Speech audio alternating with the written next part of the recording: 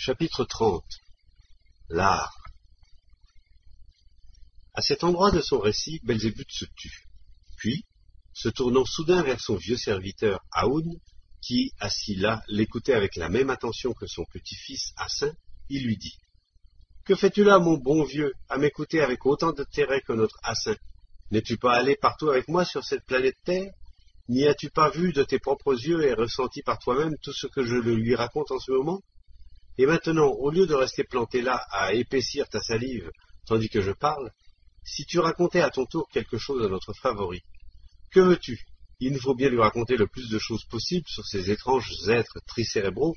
puisqu'ils ont éveillé en lui un si grand intérêt. Sûrement, ces originaux auront attiré ton attention par quelqu'une de leurs bizarreries. Eh bien, dis-nous donc quelque chose là-dessus. À ces mots, Aoun, après avoir réfléchi quelques instants, répondit. Après avoir écouté vos récits d'une psychologie si subtile, qu'irais-je raconter, moi, sur ces brouillamini? Mais il reprit bien vite, avec un sérieux inhabituel, empruntant à Belzébuth lui-même son style et jusqu'à ses tournures de phrases. Mais certainement, comment dire, ces étranges êtres tricérébraux firent plus d'une fois perdre l'équilibre à mon essence, et leurs folles plaisanteries agirent presque toujours comme des chocs sur l'une ou l'autre de mes parties spiritualisées, pour y provoquer l'impulsion étrique d'étonnement. Et s'adressant alors à Hassin, il dit Fort bien, notre cher Hassin. Je n'irai point comme sa haute révérence te raconter en détail quelque étrangeté de psychisme de ces êtres tricérébraux de notre grand univers. Non, je me bornerai à rappeler à sa haute révérence certains faits dont l'origine remonte au temps de notre cinquième séjour à la surface de cette planète, et qui, lorsque nous y revînmes pour la sixième et dernière fois, avait plus que tout autre réussi à dénaturer chez chacun de tes favoris, depuis sa venue au monde jusqu'à sa formation, en tant qu'être responsable, la capacité de pensée étrique normale pour la transformer presque en caltouzaran. S'adressant ensuite à Belzébuth lui-même avec un regard timide et d'un ton mal assuré, il continua. Ne me blâmez point, haute révérence, si je prends la liberté d'émettre en votre présence l'opinion qui vient de surgir en moi, et qui repose peut-être sur des données déjà trop défraîchies, hélas, pour me permettre des conclusions étriques.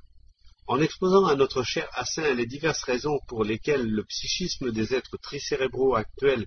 de la planète Terre qui l'intéresse s'est transformé, comme vous avez bien voulu l'exprimer un jour, en simple moulin à sornettes, Jamais vous n'avez même fait mention d'un facteur qui y contribua peut-être plus que tout autre pendant leur dernier siècle. Je veux parler du facteur à l'apparition duquel vous avez vous-même assisté, je m'en souviens fort bien, pendant notre séjour à Babylone, et qui, par la suite, est devenu positivement funeste aux êtres actuels de là-bas, facteur qu'ils appellent l'art. Si vous consentiez dans votre sagesse à traiter en détail cette question, notre cher Hassin trouverait peut-être là, selon moi, le matériel idéal qui lui permettrait d'élucider au mieux toutes les étranges anomalies du psychisme des êtres tricérébraux apparus ces tout derniers temps sur la planète Terre qui l'intéresse. Ayant dit, Aoun essuya du bout de sa queue les gouttes de sueur qui perlaient à son front et se tut. Puis il reprit sa pose habituelle d'expectative. Belzébuth le considéra d'un regard caressant et lui dit je te remercie, mon bon vieux, de m'avoir rappelé cela. C'est vrai, je n'ai pas fait mention de ce funeste facteur qu'ils ont eux-mêmes créé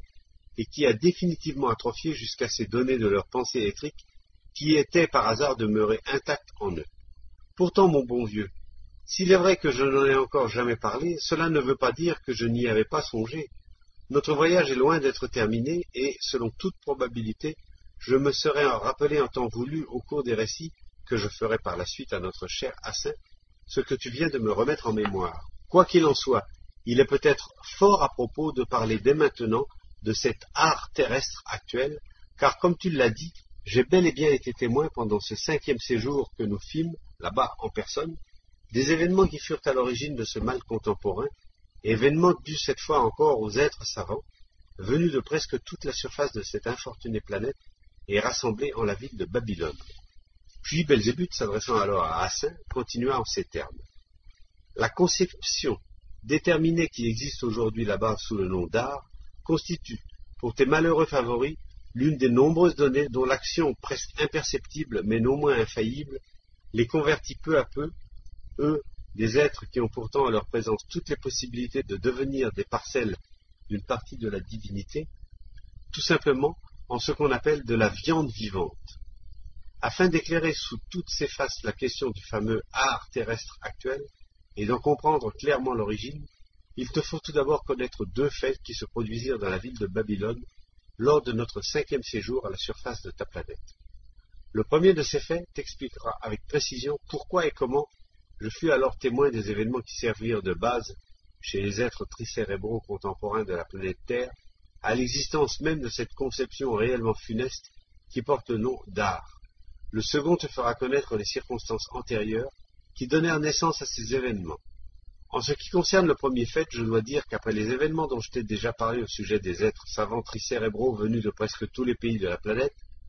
c'est-à-dire après leur scission en plusieurs groupes indépendants et leur engouement pour ce qu'on appelle la question politique, surgit en moi l'intention de quitter Babylone et de poursuivre mes observations parmi les êtres d'une communauté déjà puissante, qui portait le nom de Hellas. Aussi décidai-je d'étudier leur langue sans tarder, recherchant désormais de préférence des endroits de la ville fréquentés par des êtres susceptibles de m'être utiles à cette fin. Or, parcourant un jour l'une des rues proches de notre maison, j'aperçus sur un grand édifice devant lequel j'étais fréquemment passé,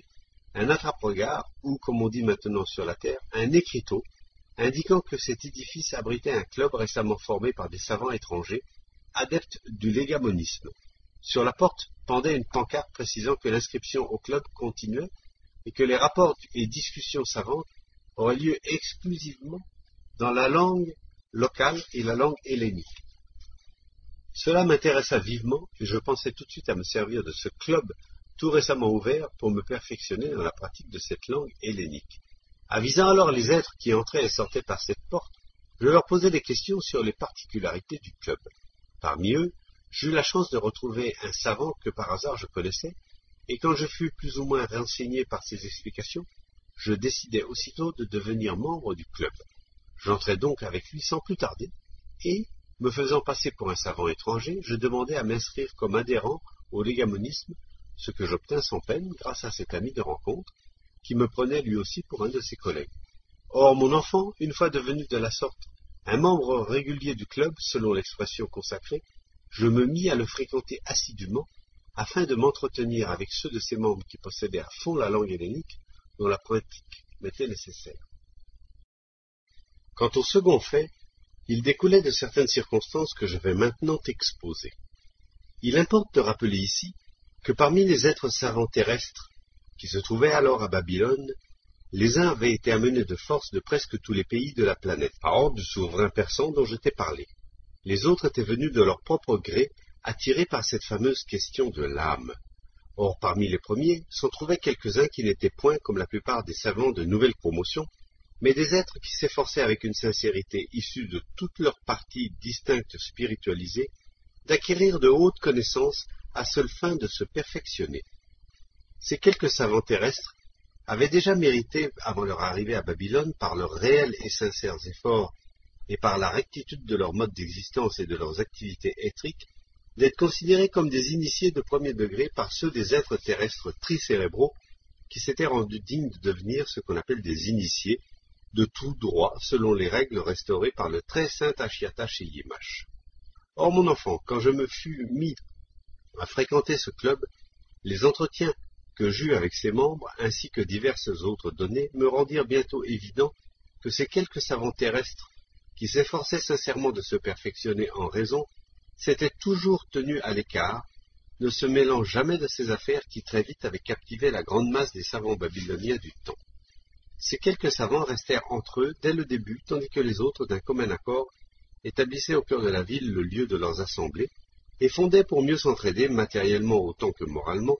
le club central de tous les savants de la Terre. De même plus tard, lorsque l'ensemble des êtres savants se fut divisé en trois sections distinctes,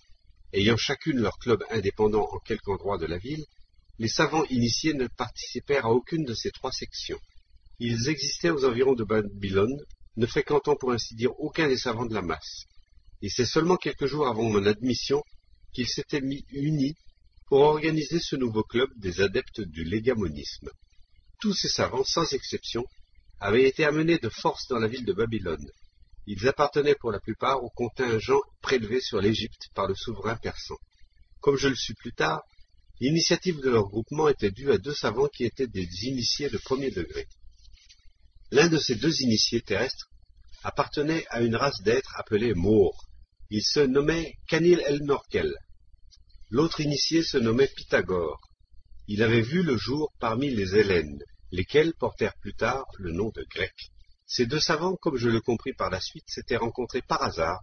dans la ville de Babylone, et lors d'un échange d'opinions Oussapa Gomoumnien, c'est-à-dire au cours de l'une de leurs conversations, dont le thème était Comment établir chez les êtres des temps actuels des formes d'existence étrique qui puissent servir au bien des êtres à venir? Ils constatèrent clairement qu'au cours des âges, tandis que se succédaient les générations d'hommes sur la Terre, se produisait un phénomène des plus lamentables, à savoir que les processus de destruction mutuelle appelés guerre et émeutes populaires aboutissaient toujours, pour une raison quelconque, à la suppression de nombreux êtres initiés de tous les degrés, entraînant dans leur disparition quantité de légamonisme qui constituait alors, comme aujourd'hui, le seul moyen de transmettre de génération en génération diverses informations sur les événements réels des temps anciens. Lorsque ces deux sincères et honnêtes savants terrestres eurent constaté ce fait qu'ils qualifièrent de phénomène lamentable, ils en délibérèrent longuement, ce qui les amena à décider de mettre à profit cette présence exceptionnelle de tant de savants dans une même ville, pour les réunir en vue de trouver de concert quelques moyens de remédier à ce fait affligeant, dû aux conditions anormales de la vie des êtres sur la Terre. C'est précisément à cette fin qu'ils fondèrent ce club, auquel ils donnèrent le nom de Club des adeptes du légamonisme. À leur appel répondirent bientôt de si nombreux candidats que deux jours après mon admission, on arrêtait déjà les inscriptions. Le jour où leur liste fut close, le nombre des membres du club se montait à 139, nombre qui se maintint jusqu'à ce que le souverain persan se fût mis en tête de mettre un terme aux caprices qu'il avait eus à l'égard de ses savants terrestres. Comme je l'appris en entrant au club, tous les membres présents le jour de l'ouverture avaient organisé ce qu'on appelle une assemblée générale, au cours de laquelle ils avaient décidé à l'unanimité de tenir chaque jour une nouvelle assemblée générale dont les rapports et discussions porteraient exclusivement sur ces deux questions. Premièrement, quelles mesures devraient prendre ceux des membres qui retourneraient chez eux en vue de recueillir tous les légamonismes existants dans leur pays et de les mettre à la disposition des savants du club? Et deuxièmement, que faire pour assurer la transmission des légamonismes aux générations futures par quelque autre moyen que l'entremise des seuls initiés Lors de mon admission, les deux questions avaient déjà fait l'objet de nombreux rapports et discussions devant ces assemblées générales. Ce jour-là, on cherchait notamment le moyen de faire participer à la tâche fondamentale du club les êtres initiés appartenant au courant, alors appelés onandjiki, chamanistes, bouddhistes et autres et c'est le surlendemain que fut prononcé pour la première fois devant les membres de ce club ce mot qui, parvenu par hasard aux êtres actuels de là-bas, allait constituer l'un des principaux facteurs d'atrophie définitive de toutes les données, restées intactes en eux, d'un pensée étrique logique plus ou moins normal, soit le mot art, qui ce jour-là fut employé dans un sens tout différent et dont la définition se référait à une toute autre idée. Ce jour-là, où pour la première fois fut prononcé le mot art, dont l'idée réelle et la signification furent définies avec précision, était inscrit parmi les orateurs un savant chaldéen très connu à l'époque et déjà fort âgé du nom d'Archar Pantsiar. Comme le rapport de ce savant chaldéen déjà âgé, le grand Archar Pantsiar, fut à l'origine de tous les événements qui devaient concerner par la suite leur fameux art actuel, je vais tâcher de me rappeler son discours et de te le répéter aussi textuellement que possible. Il commençait ainsi. Les siècles passés, les deux derniers surtout, nous ont montré que, pendant les inévitables psychoses de masse, ayant pour résultat de toujours faire surgir des guerres entre les États, ainsi que des émeutes au sein même des États, les innocentes victimes de la bestialité populaire étaient effectivement, pour la plupart, des gens qui avaient mérité par leur piété et par les privations conscientes qu'ils s'étaient imposées de devenir des initiés, Or, c'est par leur entremise que se transmettent avec précision, aux êtres conscients des générations suivantes, divers légamonismes contenant des informations sur toutes sortes d'événements authentiques survenus dans le passé. Et si les innocentes victimes de la bestialité populaire se trouvent toujours parmi ces personnes pieuses, c'est à mon avis qu'étant déjà libres intérieurement, elles ne s'identifient pas tout entières comme les autres avec les intérêts ordinaires. Elles ne sauraient donc partager ni les entraînements, ni les admirations, ni les attendrissements, ni aucune autre des manifestations si évidemment sincères de leur entourage. Et comme en temps ordinaire ces personnes existent normalement, et font preuve envers ceux qui les entourent de manifestations intérieures et extérieures toujours bienveillantes, elles acquièrent l'estime et le respect de tous. Par contre, lorsque la masse des hommes tombe dans cette psychose et se divise comme d'habitude en deux camps opposés, ces hommes à la raison abrutis par la lutte se mettent à suspecter maladivement ceux-là même qui en temps normal ont toujours été tranquilles et sérieux. Dès lors, si l'attention de ces êtres atteints de psychose vient à s'arrêter avec un peu plus d'insistance sur ces personnes exceptionnelles, ils n'ont plus le moindre doute sur le fait que ces hommes sérieux et d'apparence toujours tranquilles n'aient été, en temps normal, ni plus ni moins que les espions de leur adversaire actuel. Sous l'effet de leur raison maladive, ces hommes devenus féroces décident catégoriquement que le sérieux et la tranquillité de ces personnes n'étaient que dissimulation et hypocrisie. Et quel que soit celui des partis ennemis auxquels ils appartiennent, le résultat de leur conclusion psychopathique est que, sans aucun remords de conscience, ils mettent à mort ces personnes sérieuses et tranquilles. Telle est le plus souvent, à mon avis, la raison pour laquelle nombre de l'égamonismes ayant trait à des événements qui se sont effectivement passés sur la Terre disparaissent complètement de sa face au cours de leur transmission d'une génération à l'autre. Or, mes très estimés collègues, s'il vous plaît de connaître mon opinion personnelle, je vous dirai sincèrement de tout mon être qu'en dépit de tout ce que je viens de vous exposer au sujet de la transmission du vrai savoir aux générations éloignées, par l'entremise d'initiés qualifiés au moyen des légamonismes, il n'y a pas lieu d'y changer quoi que ce soit. Que ce mode de transmission reste tel qu'il était auparavant, tel qu'il est établi sur la terre depuis des temps immémoriaux, sur la base du pouvoir d'être des initiés, et tel qu'il a été restauré par le grand prophète Ashiata Yimash. Nous autres, hommes de ce temps, si nous voulons être aujourd'hui de quelque utilité aux hommes des siècles à venir, nous devons nous borner à ajouter à ce mode de transmission quelques nouveaux moyens, dictés par la pratique de notre vie actuelle sur Terre, aussi bien que par l'expérience des générations précédentes, acquises au cours de nombreux siècles, et telles qu'elles ressortent des informations qui nous en sont parvenues. Quant à moi, je vous propose, pour effectuer cette transmission à la génération prochaine, de nous servir d'une part des afalcanas humains, c'est-à-dire de diverses œuvres faites de, mains d'hommes et qui sont aujourd'hui devenues d'usage courant, d'autre part des soldjinokas humains, c'est-à-dire de diverses pratiques et cérémonies établies depuis des siècles dans la vie familiale et sociale des hommes et qui se transmettent automatiquement de génération en génération. Certains afalcanas humains, notamment ceux qui sont faits de matériaux très durables, peuvent se conserver intacts et parvenir ainsi aux hommes des générations éloignées. Ou bien, des copies peuvent en être transmises de génération en génération, en vertu de cette propriété enracinée dans l'essence des hommes qui consiste à faire passer pour leur des œuvres venues de temps les plus reculés, et auxquelles ils ne font subir que de légères modifications de détails. Quant aux solginokas humains, tels que les divers mystères, cérémonies religieuses, coutumes familiales et sociales, danses religieuses et populaires, etc., Bien qu'au cours des siècles leur forme extérieure soit soumise à de fréquentes modifications, les impulsions qu'ils suscitent chez les hommes et les manifestations qui en découlent n'en restent pas moins immuables. Par conséquent, si, dans les facteurs intérieurs qui engendrent ces impulsions, aussi bien que dans les œuvres dont j'ai parlé, nous introduisons des informations utiles, ainsi que le vrai savoir auquel nous sommes déjà parvenus, nous pouvons pleinement escompter que tout ce matériel atteindra nos descendants les plus éloignés, que quelqu'un le déchiffrera et que les autres auront alors la possibilité de l'utiliser pour leur bien. La question qu'il s'agit maintenant de résoudre est celle-ci. Comment réaliser cette transmission par les divers afalkanas et soljinokas humains que je viens d'indiquer? Personnellement, je vous propose de le faire sur la base de la loi universelle appelée loi de Seth. La loi de Seth existe sur la Terre et y existera toujours et en tout. Par exemple, en vertu de cette loi, le rayon blanc se compose de sept couleurs distinctes.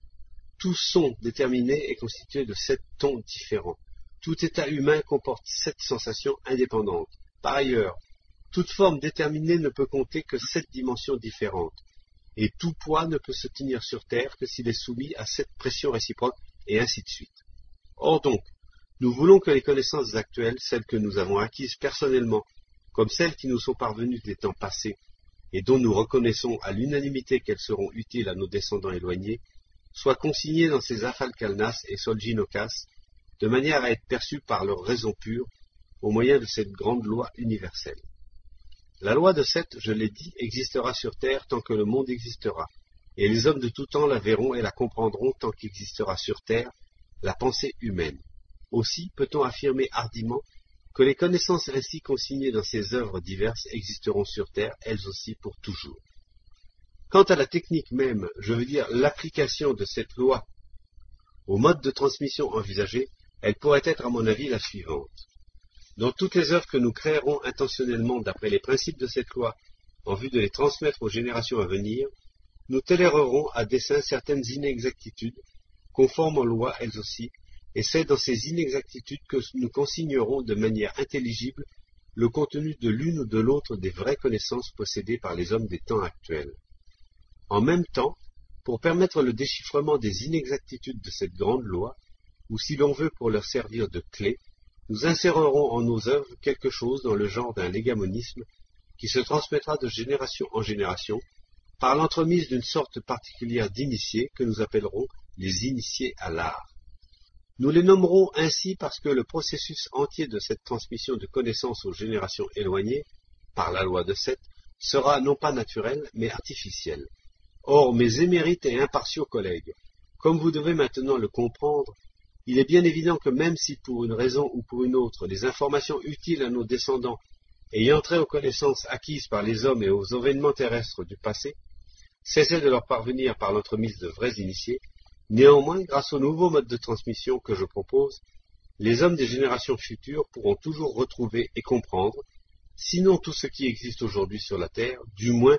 ces fragments des connaissances générales qui leur parviendront par hasard dans les œuvres exécutées de la main des hommes de ce temps et dans les diverses cérémonies contemporaines où nous aurons consigné ce que nous voulons selon la grande loi de Seth,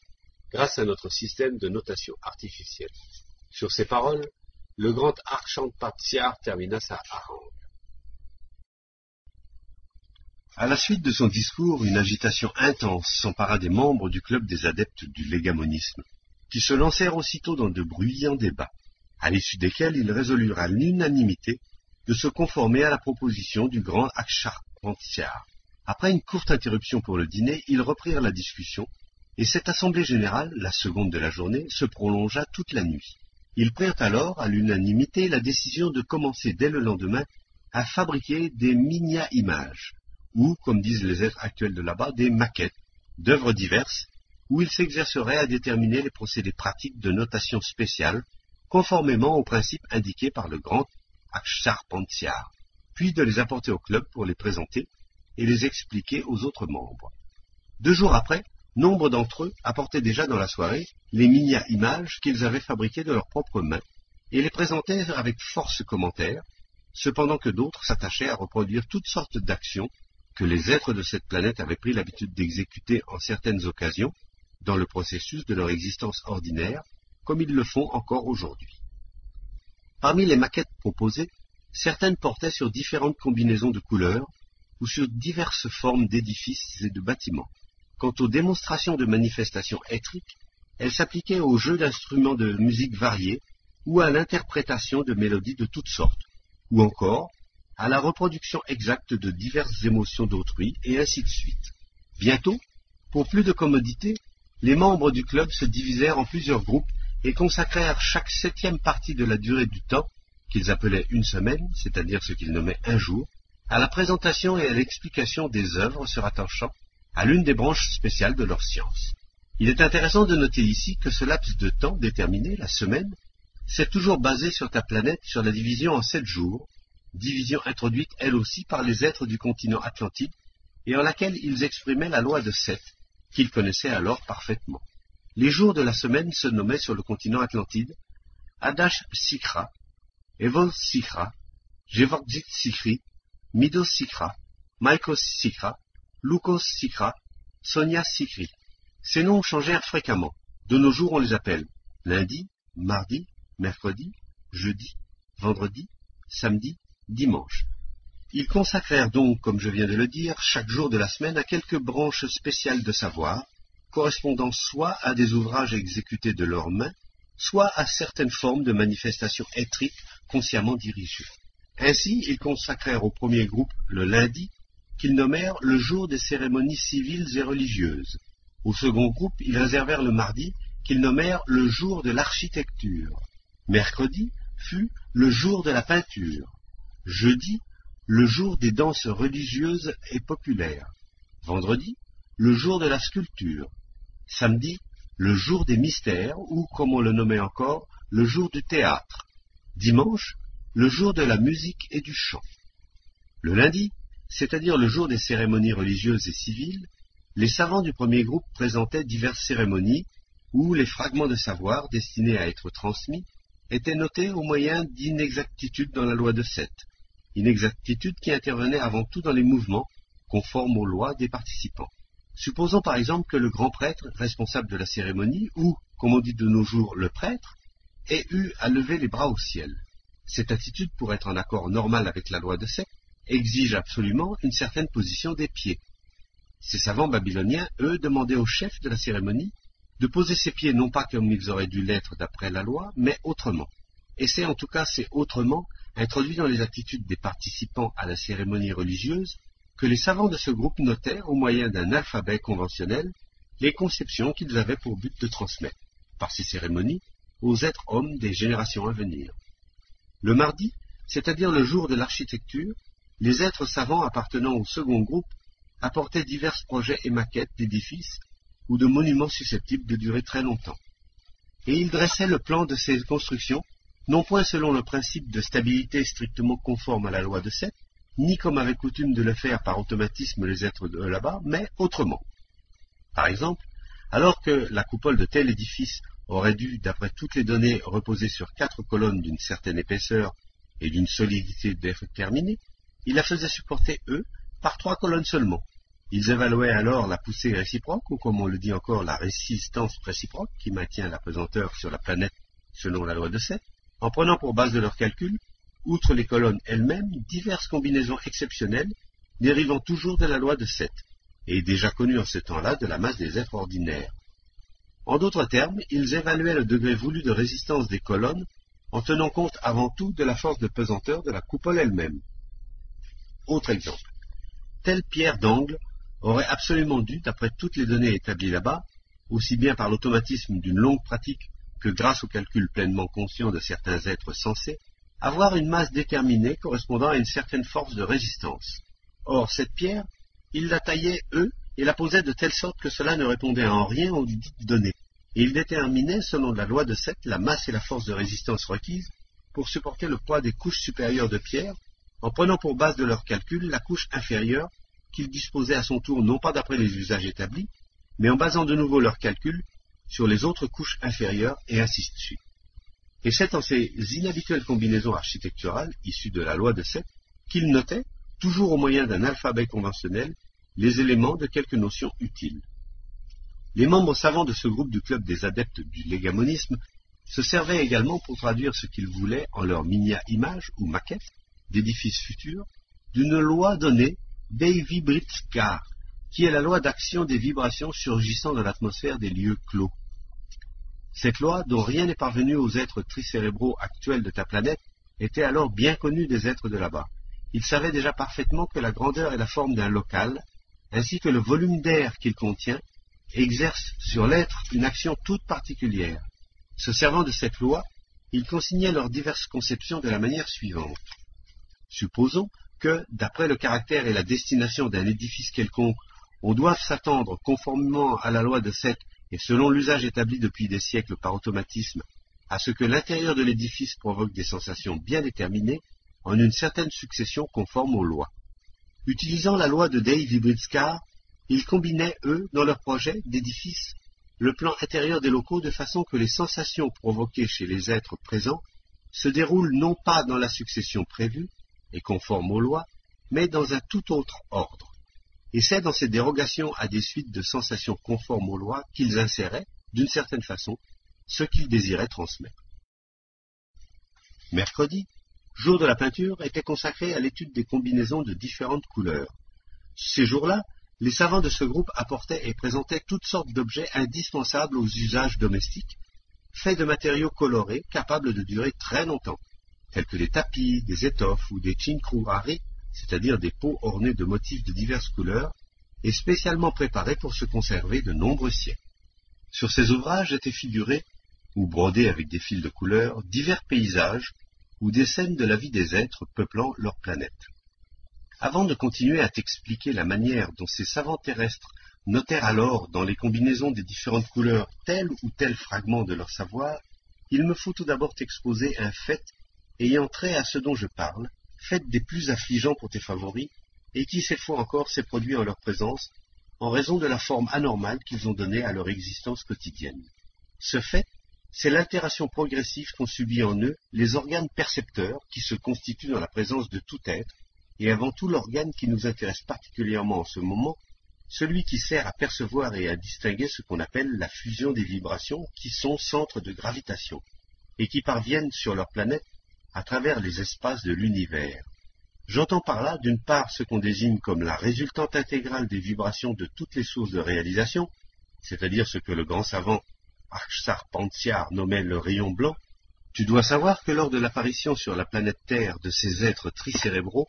et pendant la première phase de leur existence, avant la période où leur fut greffé l'organe Kunda Buffer, puis lorsque cet organe eut été extirpé de leur présence, et même bien plus tard, après la seconde catastrophe transapalnienne de là-bas, presque jusqu'à notre troisième descente personnelle à la surface de cette planète, l'organe de la vue se formait en eux avec la même subtilité de perception que dans la présence générale de tous les êtres tricérébraux ordinaires de notre grand univers. Pendant les différentes périodes dont je viens de parler, chez tous les êtres tricérébraux surgissant sur cette planète, cet organe atteignait un degré de sensibilité lui permettant de percevoir ces fusions de vibrations centres de gravitation isolées du rayon blanc et de différencier un tiers de toutes les tonalités de couleurs qui se trouvent en général dans la présence des planètes, ainsi que dans celle de toutes les autres concentrations cosmiques, grandes et petites. Il est exactement établi par la science objective que le nombre de fusions des vibrations centres de gravitation isolées de la résultante intégrale des vibrations, c'est-à-dire des tonalités ou comme disent tes favoris des couleurs, atteint exactement un coultampana, ce qui, d'après les calculs des êtres terrestres tricérébraux, représente 5 764 801 tonalités. Un tiers seulement du total de ces fusions, ou tonalités, à l'exception d'une tonalité accessible à la seule perception de notre Tout-Puissant éternel, soit 1 921 600 tonalités, peuvent être perçues par tous les êtres ordinaires en tant que couleurs diverses, sur quelques planètes de notre grand univers qu'ils fassent leur apparition. Mais si les êtres tricérébraux poussent le perfectionnement de leur partie supérieure jusqu'à leur plein accomplissement, ce qui donne à leur organe visuel la subtilité correspondant à la vue Oluestes-Noknien, ils peuvent dès lors différencier deux tiers du nombre total des tonalités existant dans l'univers, nombre s'élevant d'après les calculs terrestres à 3 843 200 tonalités de couleurs diverses. Et seuls les êtres tricérébraux qui ont poussé le perfectionnement de leur partie électrique supérieure jusqu'à l'état appelé Ishmech deviennent capables de percevoir et de différencier la totalité des fusions ou tonalités mentionnées, à l'exception de l'unique tonalité, accessible, comme je l'ai déjà dit, à notre seul Créateur Tout-Puissant. Bien que j'ai l'intention de te l'expliquer plus tard, en détail, je pense qu'il n'est point superflu d'aborder dès maintenant la question suivante. Comment et pourquoi dans la présence des concentrations cosmiques insapalnienne, toute formation déterminée acquiert-elle du fait des processus évolutifs et involutifs la propriété d'avoir différents effets sur l'organe qui nous intéresse? Il faut dire tout d'abord que la résultante intégrale des vibrations, de même que toutes les formations cosmiques déjà déterminées, se constitue conformément au résultat parachevé de la loi cosmique fondamentale de l'heptaparaparchinoc sacré, c'est-à-dire de la loi cosmique que les êtres tricérébraux de la planète Terre de la période babylonienne nommait la loi de Seth. En d'autres termes, cette résultante comporte sept ensembles de résultats, ou comme on le dit encore parfois, sept classes de vibrations, issues de sources cosmiques dont l'avènement et l'action ultérieure dépendent de sept autres sources, lesquels surgissent et dépendent à leur tour de sept autres encore, et ainsi de suite, jusqu'à la très sainte vibration unique aux sept propriétés issues de la suprêmement sainte source originelle. Et c'est de leur totalité que se compose la résultante intégrale des vibrations de toutes les sources de réalisation de tout ce qui existe dans l'univers, grâce aux transformations desquelles elles réalisent ensuite dans la présence des concentrations cosmiques inzapalniennes le nombre de tonalités diverses que j'ai mentionnées. Quant aux particularités de la très sainte vibration unique aux sept propriétés, tu ne les comprendras que lorsque je t'aurai expliqué en temps voulu, de manière détaillée ainsi que je te l'ai déjà promis à plusieurs reprises, toutes les grandes lois fondamentales de création du monde et d'existence du monde. Il te faut savoir, en attendant, à propos du fait qui nous occupe, que lorsque la résultante intégrale des vibrations, ou, comme l'auraient dit les êtres terrestres tricérébraux, lorsque le rayon blanc pénètre avec la présence qui lui est propre dans les sphères de la présence d'une planète inzapalnienne, où sa transformation est possible, il subit alors, de même que tout surgissement cosmique déjà déterminé susceptible d'une réalisation ultérieure, le processus cosmique appelé Jartlom. En d'autres termes, en tant que présence, il reste le même, mais son essence se désagrège, pour ainsi dire, et engendre des processus d'évolution et d'involution des vibrations, centres de gravitation, distincts qui le constituent. Et ces processus s'accomplissent ainsi. Certains groupes de vibrations centres de gravitation se détache des autres pour se convertir en troisième et ainsi de suite. Pendant ces transformations, le rayon blanc agit par ses vibrations centres de gravitation sur d'autres processus ordinaires de genèse et de décomposition planétaire s'effectuant à proximité, et ces vibrations centres de gravitation, assujetties aux conditions environnantes, fusionnent selon leur parenté de vibration pour devenir partie intégrante de la présence générale des formations en lesquelles s'opèrent ces processus. Or, mon enfant, à chacune de mes descentes personnelles sur la planète Terre, je remarquais chez tous tes favoris, d'abord sans intention consciente de la part de ma raison, puis de propos délibérés, l'altération progressive et qui me devint finalement tout à fait évidente, dont souffrait cet organe étrique. De siècle en siècle, la subtilité de perception de cet organe, par lequel s'effectue en majeure partie dans la présence des êtres cérébraux la saturation automatique de l'extérieur, qui sert de base à la possibilité d'un perfectionnement naturel, s'affaiblit à tel point que lors de notre cinquième séjour là-bas, c'est-à-dire à, l'époque de la splendeur babylonienne, suivant l'expression des êtres actuels, tes favoris ne pouvaient déjà plus, dans le meilleur des cas, percevoir ni différencier la fusion des vibrations centre de gravitation du rayon blanc que jusqu'au troisième degré de ce qu'on appelle son accumulation septénaire, soit 343 tonalités de couleurs seulement. Il est intéressant de noter ici que quantité d'êtres tricérébraux de cette période babylonienne s'étaient aperçus de l'affaiblissement progressif de la subtilité de cet organe. Certains d'entre eux avaient même fondé à Babylone une nouvelle société qui suscita parmi les peintres d'alors un courant particulier. Ce courant particulier avait pour principe de connaître et déterminer la vérité uniquement au moyen des tonalités comprises entre le blanc et le noir. Et pour exécuter toutes leurs œuvres, ils employaient exclusivement les tonalités comprises entre le blanc et le noir. Lorsque j'eus connaissance à Babylone de ce courant particulier de peinture, ces adeptes utilisaient déjà pour leurs œuvres près de 1500 nuances bien déterminées de la couleur que l'on nomme le gris. Ce nouveau courant pictural fit beaucoup de bruit, comme on dit, parmi les êtres qui s'efforçaient d'arriver à connaître la vérité, au moins sur quelque chose. Il servit même de point de départ à un autre courant, plus original encore, né cette fois parmi ceux qu'on appelait alors les odoristes babyloniens, qui étudiaient et réalisaient de nouvelles combinaisons de concentration de vibrations, dont l'influence particulière sur l'odorat des êtres suscitait des effets bien définis sur leur psychisme général, c'est-à-dire parmi les êtres de là-bas qui avaient pris pour tâche de trouver la vérité au moyen des senteurs. Certains fervents de ce mode de recherche, à l'instar des adeptes du nouveau courant de peinture, fondèrent à leur tour une société analogue qui avait pour devise Chercher la vérité dans les nuances comprises entre les senteurs qui se dégagent depuis le moment où l'action du froid produit le gel, jusqu'au moment où l'action de la chaleur produit la décomposition. Comme les peintres l'avaient fait pour les couleurs, ils trouvèrent entre les deux senteurs extrêmes ainsi définies environ 700 nuances bien distinctes dont ils se servirent pour leurs recherches expérimentales. Je ne sais à quoi ces deux courants originaux les auraient conduits, ni où ils se seraient arrêtés, si certains gouverneurs nouvellement nommés à Babylone ne s'étaient mis dès le temps de notre séjour là-bas à persécuter les adeptes de ce second courant, attendu que leur odorat devenu passablement subtil, commençait à flairer et à dévoiler sans y prendre garde plusieurs de ses obscures affaires, ce qui l'incita à liquider par tous les moyens tout ce qui se rapportait non seulement à ce courant, mais encore au premier. Pour en revenir à l'organe dont nous avions commencé de parler, organe destiné à percevoir la visibilité des surgissements cosmiques extérieurs à eux, l'affaiblissement de sa subtilité chez tes favoris ne cessa point de s'aggraver après la période babylonienne, au point que, lors de notre dernier séjour à la surface de cette planète, tes favoris n'avaient déjà plus la possibilité de percevoir ni de distinguer, au lieu des 1 921 600 tonalités de couleurs qu'ils auraient dû discerner, que le seul résultat de l'avant-dernière cristallisation septénaire du rayon blanc, c'est-à-dire 49 tonalités seulement. Encore, cette possibilité n'appartenait-elle qu'à quelques-uns de tes favoris, les autres, la majorité sans doute, en étant même privés.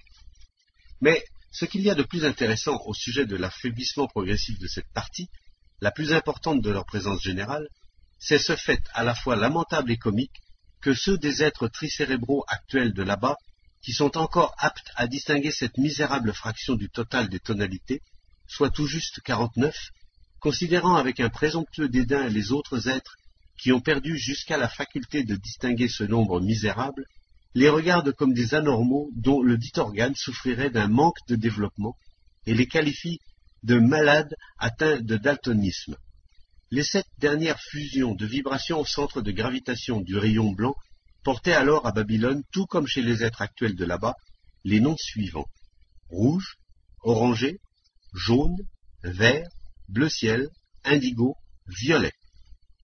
Écoute maintenant de quelle manière les savants appartenant au groupe des peintres notaient en des inexactitudes légales de la grande loi cosmique qu'ils nommaient la loi de sept, au moyen de combinaisons de ces sept couleurs distinctes et des autres tonalités indépendantes de second ordre qui en dérivent, diverses informations profitables, ainsi que les fragments du savoir auxquels ils étaient parvenus. Du fait de la propriété spéciale dont je parlais tout à l'heure, et qui était déjà bien connue des peintres savants de Babylone, au cours du processus de transformation de la résultante intégrale des vibrations ou rayons blancs, chacune des couleurs distinctes qui le composent, c'est-à-dire chaque groupe de vibrations centre de gravitation, dérive toujours d'une autre pour se transformer en une troisième. Par exemple, la couleur orange provient du rouge, et cette même couleur orange passe à son tour au jaune, et ainsi de suite. Or, les savants babyloniens, lorsqu'ils tissaient ou brodaient avec des fils de couleurs, ou lorsqu'ils peignaient leurs ouvrages, disposaient les diverses tonalités soit dans le sens longitudinal, soit dans le sens transversal, soit encore au point d'intersection des lignes de couleur, non pas dans l'ordre légal, c'est-à-dire l'ordre dans lequel s'effectue réellement ce processus selon la loi de Seth, mais autrement. Et c'est dans cet autrement qu'ils introduisaient d'une façon conforme aux lois, elles aussi, des éléments de leurs informations et de leur savoir. Le jeudi,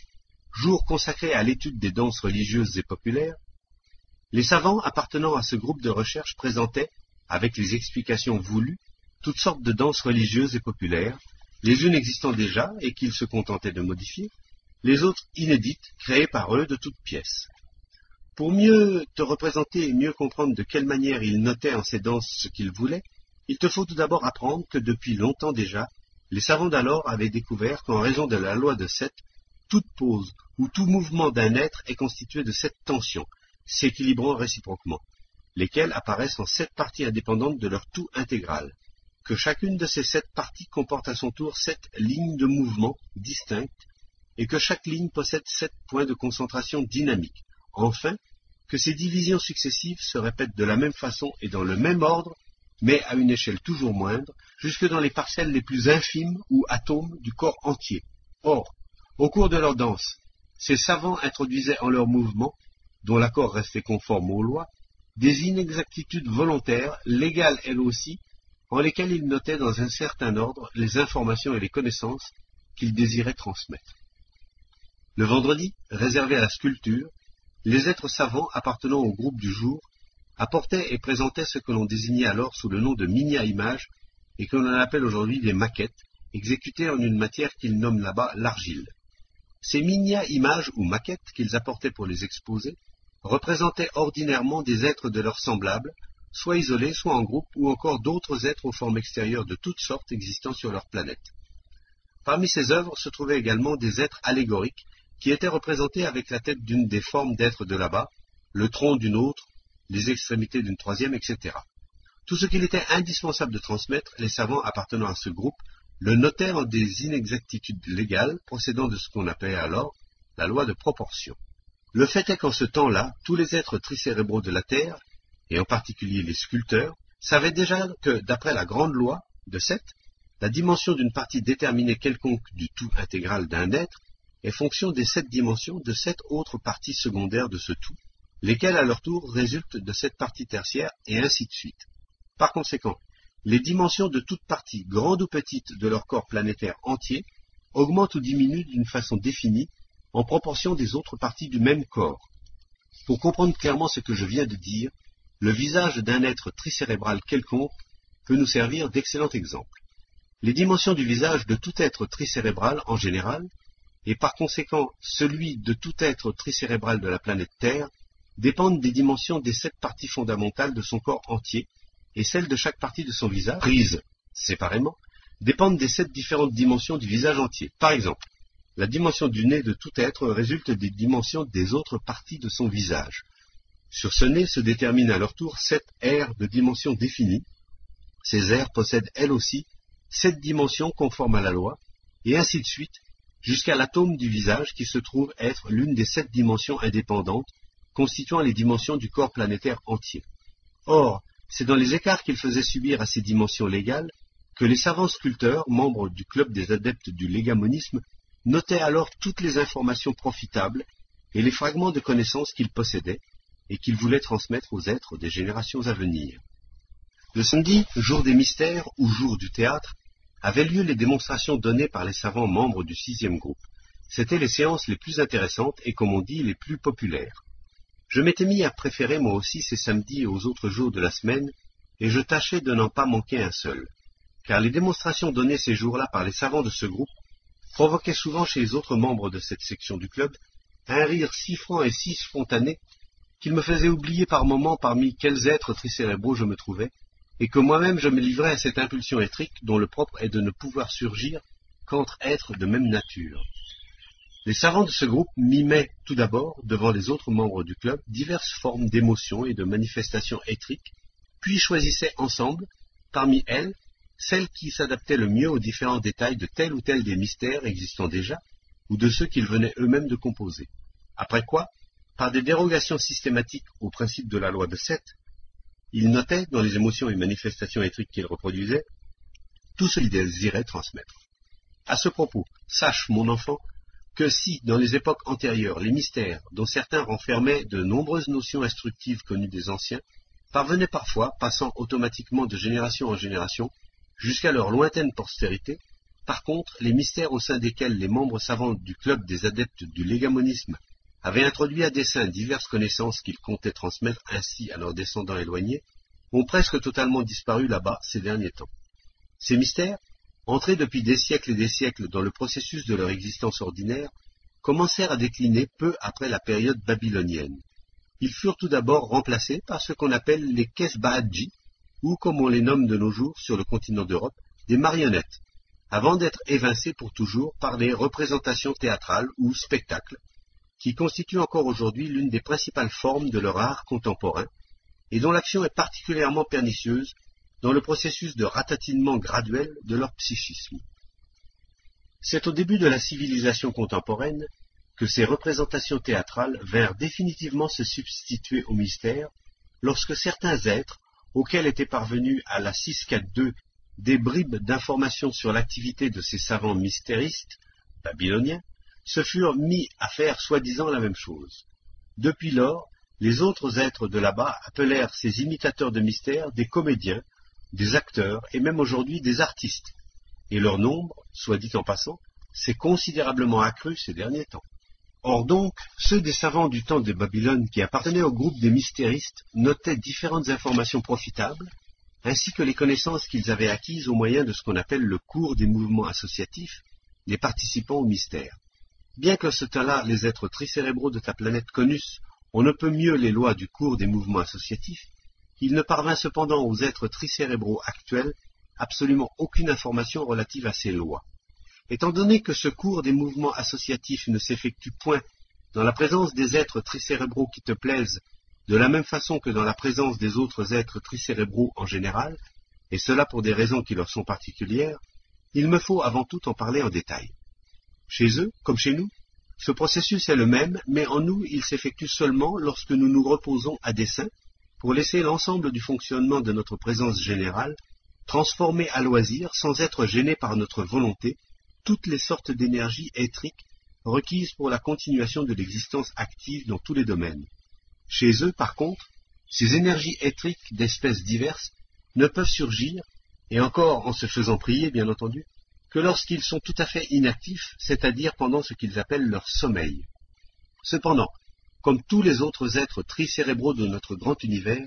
ils sont constitués de trois parties distinctes, indépendamment spiritualisées, et chacune d'elles possède, pour l'ensemble de son fonctionnement, un lieu de concentration fondamental, autrement dit, une localisation propre à laquelle ils ont eux-mêmes donné le nom de cerveau. Ainsi, toute impression, qu'elle vienne du dehors ou de l'intérieur, est perçue indépendamment, suivant sa nature, par chacun de leurs cerveaux. Et par la suite, ces impressions, comme il en va dans la présence de tous les êtres, sans distinction de système de cerveau, se combinent avec les impressions antérieures pour former un ensemble de données qui, sous l'effet de chocs fortuits, vont provoquer en chaque cerveau distinct des associations indépendantes. Or, mon enfant, depuis que tes favoris ont tout à fait cessé de réaliser consciemment en leur présence générale les parcs de devoirs étriques, dont les résultats peuvent seuls faire surgir chez les êtres, à partir d'associations de nature diverses, ce qu'on appelle un saint pensée comparatif, ainsi que la possibilité de manifestations actives conscientes, leur cerveau distinct,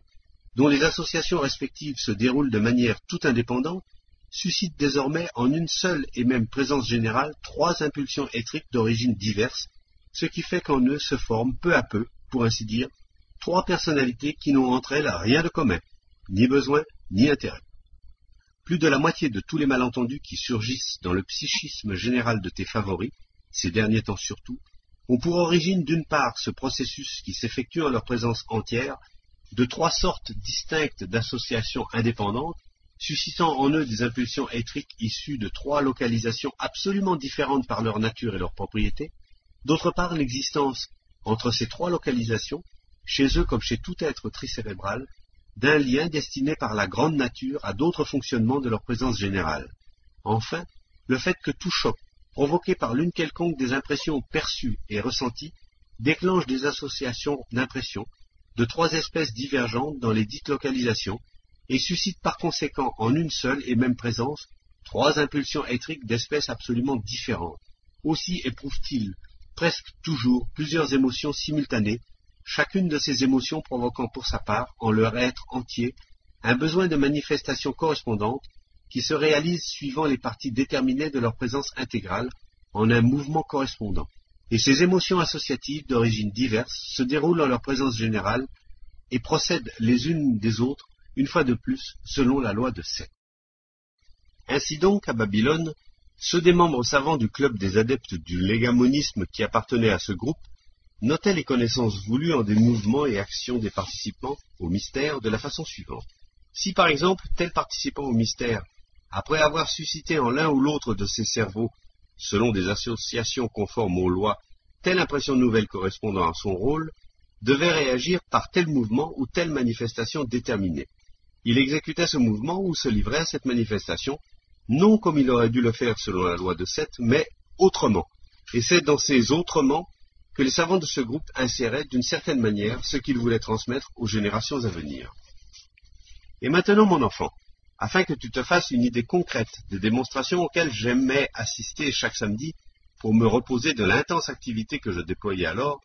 je vais te raconter comment ces savants mystéristes mimaient devant les autres membres savants du club des adeptes du légamonisme toutes sortes d'émotions étriques ou de manifestations se déroulant selon le cours des associations et parmi lesquels on choisissait des éléments pour les mystères futurs. On avait érigé pour ces démonstrations dans l'une des grandes salles du club un plateau surélevé qu'ils nommèrent alors un réflecteur de réalité. Les êtres des époques postérieures, auxquels furent par hasard transmises des informations relatives à ces savants mystéristes babyloniens, et qui se mirent à les imiter et à faire soi-disant la même chose, nommèrent ce genre de construction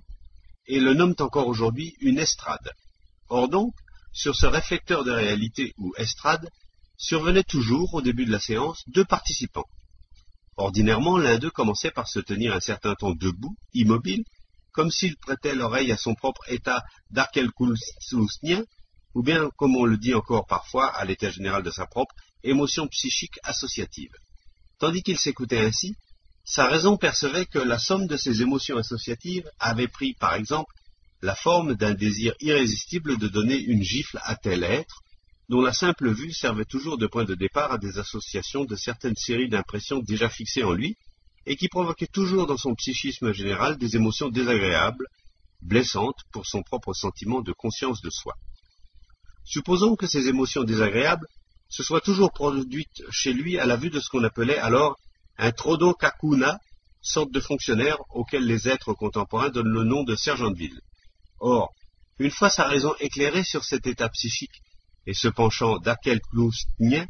il se rendait parfaitement compte en même temps qu'étant donné les conditions actuelles d'existence publique extérieure, jamais il ne pourrait satisfaire pleinement son penchant.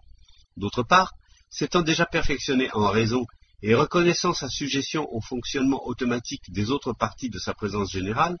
il comprenait clairement que de la satisfaction de cette impulsion dépendrait l'accomplissement d'un devoir étrique d'une grande portée pour son entourage. Tout en réfléchissant de la sorte, il décidait alors de donner satisfaction à ce penchant impérieux du mieux qu'il pourrait et d'infliger au moins à ce Trodokakuna une souffrance morale qui provoquerait en lui des associations de nature offensante. Il se tournait donc à cette intention vers l'autre savant, entré en même temps que lui sur l'estrade, et, le traitant alors comme un Trodokakuna, il lui disait Hé, toi, tu ne connais pas encore ton devoir Ne vois-tu pas que là-bas, à ce moment, il pointait son doigt dans la direction d'une autre salle du club, où se tenait le reste des participants à la démonstration du jour, et poursuivait. Que là-bas, dis-je, deux citoyens, un soldat et un cordonnier, se battent dans la rue et troublent la tranquillité publique. Et toi, pendant ce temps-là, tu te prélasses, t'imaginant être Dieu sait qui, louchant sur les passantes, les femmes des honnêtes et dignes habitants de la ville. Attends un peu, espèce de vaurien. Par mon chef, le médecin principal de la ville, je ferai savoir à tes supérieurs le peu d'attention et l'insouciance que tu apportes à l'exercice de tes fonctions. À partir de ce moment, le savant qui parlait, ayant dit par hasard qu'il avait pour chef un médecin, entrait dans le rôle d'un médecin, tandis que le second savant entrait dans le rôle du sergent de ville. Quant aux deux autres savants participants que le sergent de ville avait ramenés de l'autre salle, ils assumaient alors respectivement les rôles du cordonnier et du soldat. Et ces deux derniers savants étaient tenus de remplir ces rôles de soldat et du cordonnier et de se manifester exactement comme tel, pour la seule raison que le premier savant, obéissant à son devoir d'actelpnousnien et ayant pris sur lui le rôle de médecin, les avait désignés de ces noms-là. Or ces trois savants, auxquels le quatrième avait inopinément imposé d'assumer toutes sortes de perceptions et de manifestations conformes aux lois, mais propres à des types qui leur étaient tout à fait étrangers, ou comme le disent les favoris de tenir des rôles d'emprunt, ceux de soldats, de cordonniers et de sergents de ville, se mettaient alors à diriger leurs émotions et les manifestations réflexes qu'elles entraînaient, grâce à la propriété étrique nommée Ikriltas Zakra, bien connue des savants de l'époque qui avaient déjà suffisamment perfectionné leur présence pour être en mesure de réaliser cette propriété. Les êtres tricentriques ne peuvent posséder la propriété Ikriltas Zakra qu'après avoir acquis en leur présence ce qu'on appelle la volonté égo-aitu-racienne, laquelle à son tour ne peut être obtenue que grâce au pactole de voix étrique, c'est-à-dire grâce à des efforts conscients et à des souffrances volontaires. C'est ainsi que les membres savants du groupe des mystéristes parvenaient à exécuter des rôles d'emprunt et à vivre devant les autres membres savants du club des expériences et des actions réflexes intérieures qui se produisaient et se déroulaient sous la direction de leur raison bien éclairée. Puis, de concert avec les autres membres du club, ils choisissaient parmi les impulsions étriques ainsi présentées celles qui correspondaient le mieux à leur but et qui, conformément à la loi d'écoulement des associations de régimes diverses, devaient être vécues et manifestées dans des actions bien déterminées. Après quoi, ils inséraient ces éléments sélectionnés dans les détails de quelques mystères. Il est important de souligner ici que les êtres tricérébraux qui appartenaient au groupe des savants mystéristes de Babylone reproduisaient réellement de façon étonnante, jusque dans leurs détails, les particularités subjectives des conceptions et manifestations des divers types qui leur étaient étrangers. Car non seulement il possédait, comme je l'ai déjà expliqué, la propriété étrique Ikrilzat Zakra, mais Encore, comme tous les savants terrestres d'alors, ils connaissaient à fond ce qu'on appelle la loi de type. Ils savaient parfaitement quels étaient les 27 types bien déterminés qui se forment sur leur planète, et même ce que chacun d'eux devait percevoir en telle ou telle circonstance, comme il le percevait, et comment il était contraint de réagir. Quant à la propriété étrique nommée Ikrilzat Zakra, tu dois savoir encore qu'elle seule confère aux êtres la possibilité de se tenir dans les limites de tous les mobiles et impulsions que suscitent au moment même, dans leur présence générale, les associations issues de celui de leur cerveau qu'ils ont consciemment choisi comme base de départ pour y déclencher l'une quelconque des séries d'impressions déjà ressenties par eux. Et c'est seulement grâce à cette capacité qu'un être peut percevoir tous les détails du psychisme d'un type qu'il a bien étudié, puis se manifester à son image et le personnifier pour ainsi dire pleinement. Et, à mon avis, c'est l'absence de cette propriété qui est la cause de la plupart des malentendus qui ont amené les êtres tricérébraux, qui te plaisent, à posséder un si étrange psychisme. Tu dois savoir que dans la présence de tous les êtres tricérébraux en général, y compris celle des êtres tricérébraux contemporains de là-bas, toutes les impressions nouvelles vont s'accumuler dans les trois cerveaux distincts, dans un ordre dit de parenté, pour participer ensuite, avec les impressions déjà fixées antérieurement, aux associations que suscitent en ces trois cerveaux toute nouvelle perception, suivant les impulsions centres de gravité, qui se trouvent à ce moment-là dans leur présence générale. Ainsi donc, mon enfant, étant donné que dans la présence de tes favoris contemporains s'écoulent sans fin trois sortes d'associations indépendantes, qui suscitent continuellement des impulsions étriques de nature différente, et que d'autre part ils ont tout à fait cessé d'obtenir consciemment en leur présence tous les résultats cosmiques qui seuls permettent aux êtres tricérébraux d'acquérir la propriété étrique Zatzakra, il s'ensuit que la présence générale de chacun de tes favoris actuels, pendant le processus de son existence,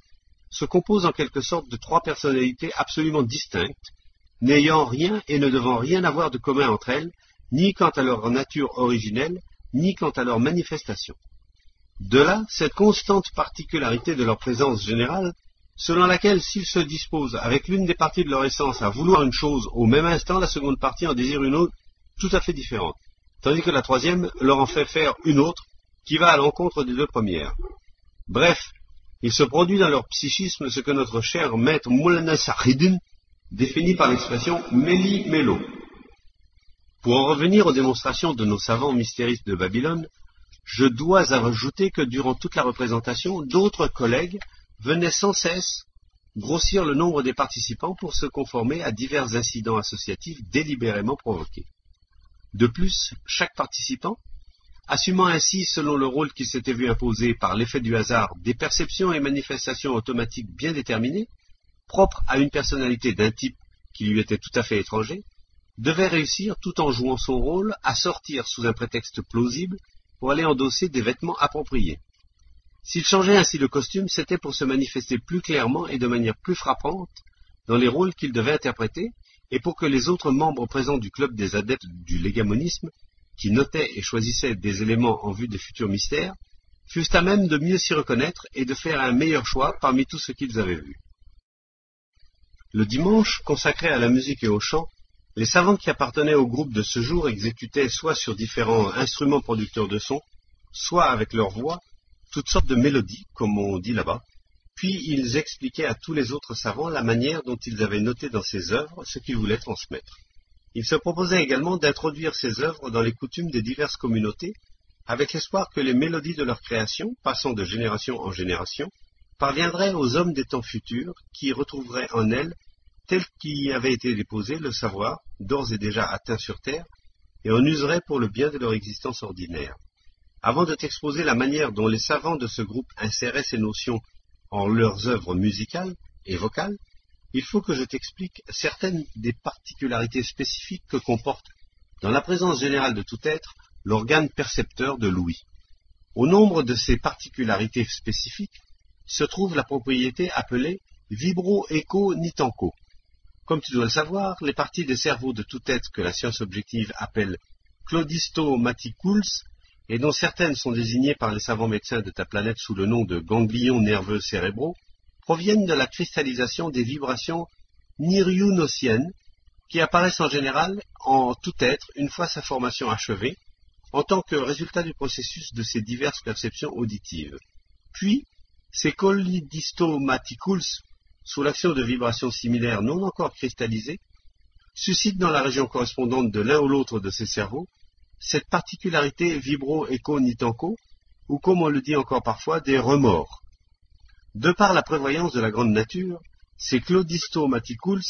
servent effectivement, dans la présence des êtres, de facteurs favorisant le déclenchement du processus d'association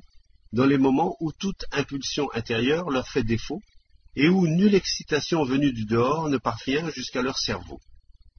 Quant aux vibrations nociennes, non encore cristallisées, qui pénètrent dans leur présence générale, elles sont émises soit par les cordes vocales des créatures de toute espèce, soit au moyen d'instruments producteurs de sons qu'ils ont inventés.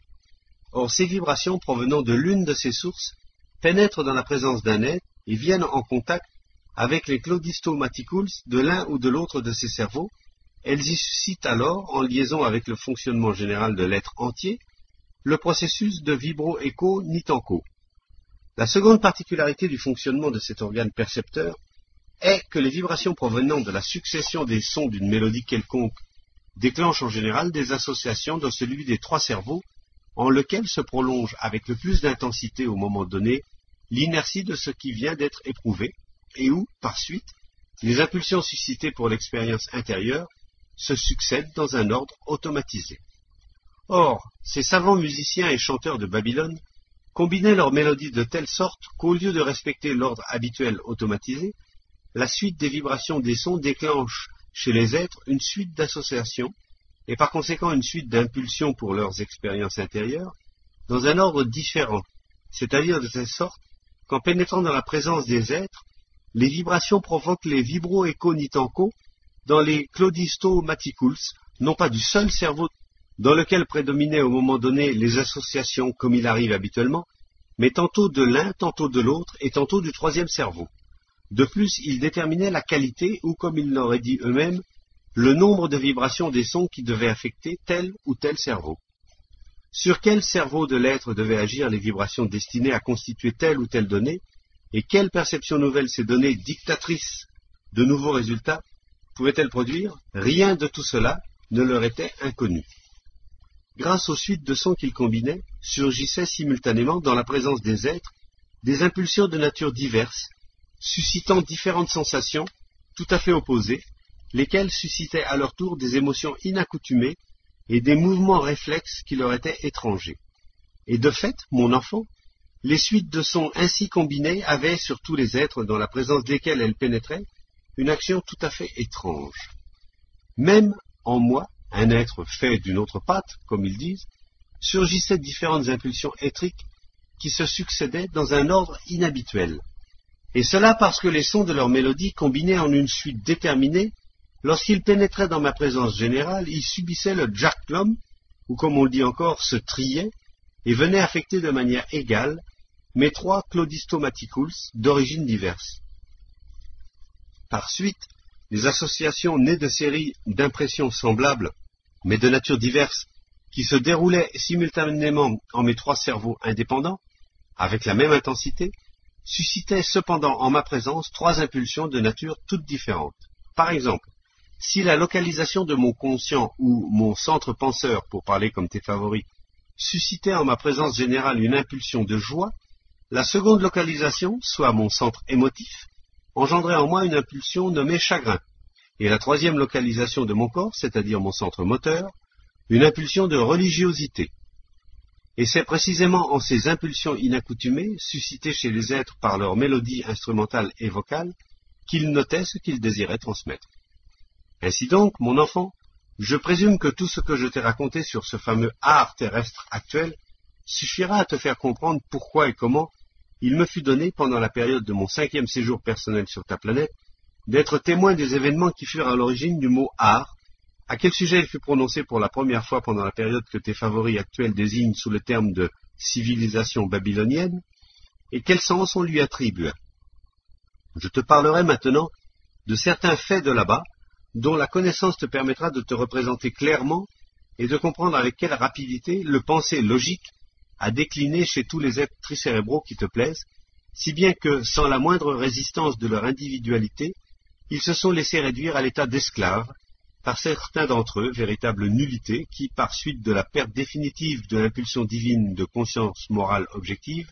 et pour leur seule fin égoïste, avaient fait de ce vain mot d'art, parvenu par hasard jusqu'à eux, un facteur infaillible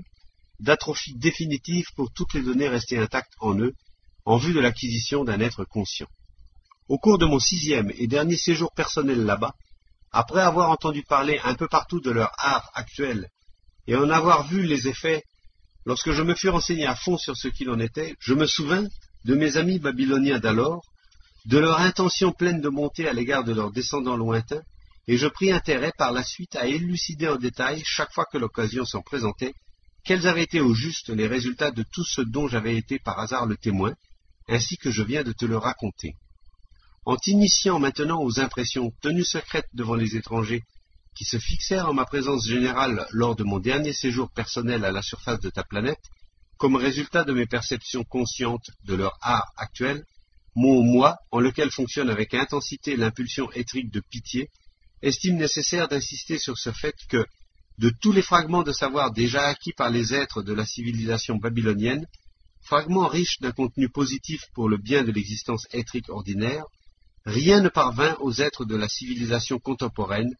si ce n'est quelques vingt mots dénués de toute signification.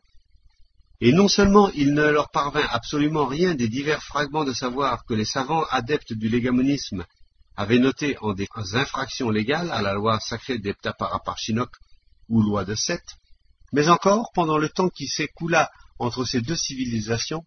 l'ingéniosité étrique déclina chez eux au point que de nos jours, ils ne connaissent plus et ne soupçonnent même pas l'existence sur leur planète, comme partout ailleurs, de cette loi universelle. En ce qui concerne le mot art, autour duquel leur étrange raison leur avait fait entortiller, comme ils le disent eux-mêmes, diable c'est quoi, voici ce que me montrèrent mes recherches. Entre autres expressions employées par les êtres savants du temps de la grandeur de Babylone,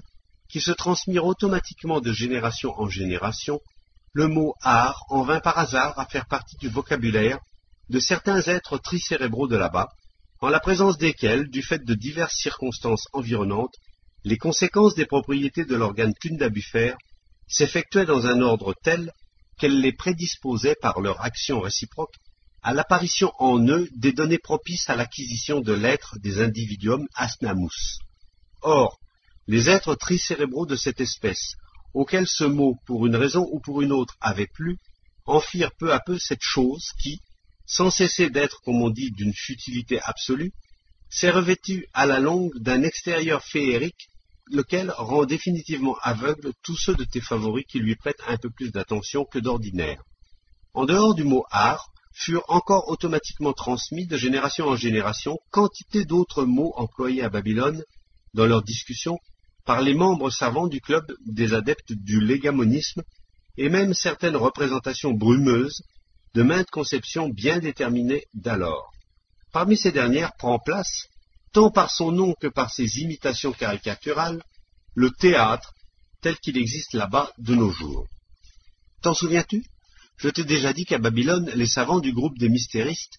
désignaient leur local, de même que leur démonstration, sous le nom de théâtre. Si je te donne à présent quelques détails complémentaires sur leur théâtre contemporain, tu pourras comprendre comment, en dépit de toutes les bonnes intentions et de tous les efforts des êtres savants de la période babylonienne, presque rien du véritable savoir acquis au temps de la culture babylonienne n'est parvenu aux êtres de cette culture européenne actuelle,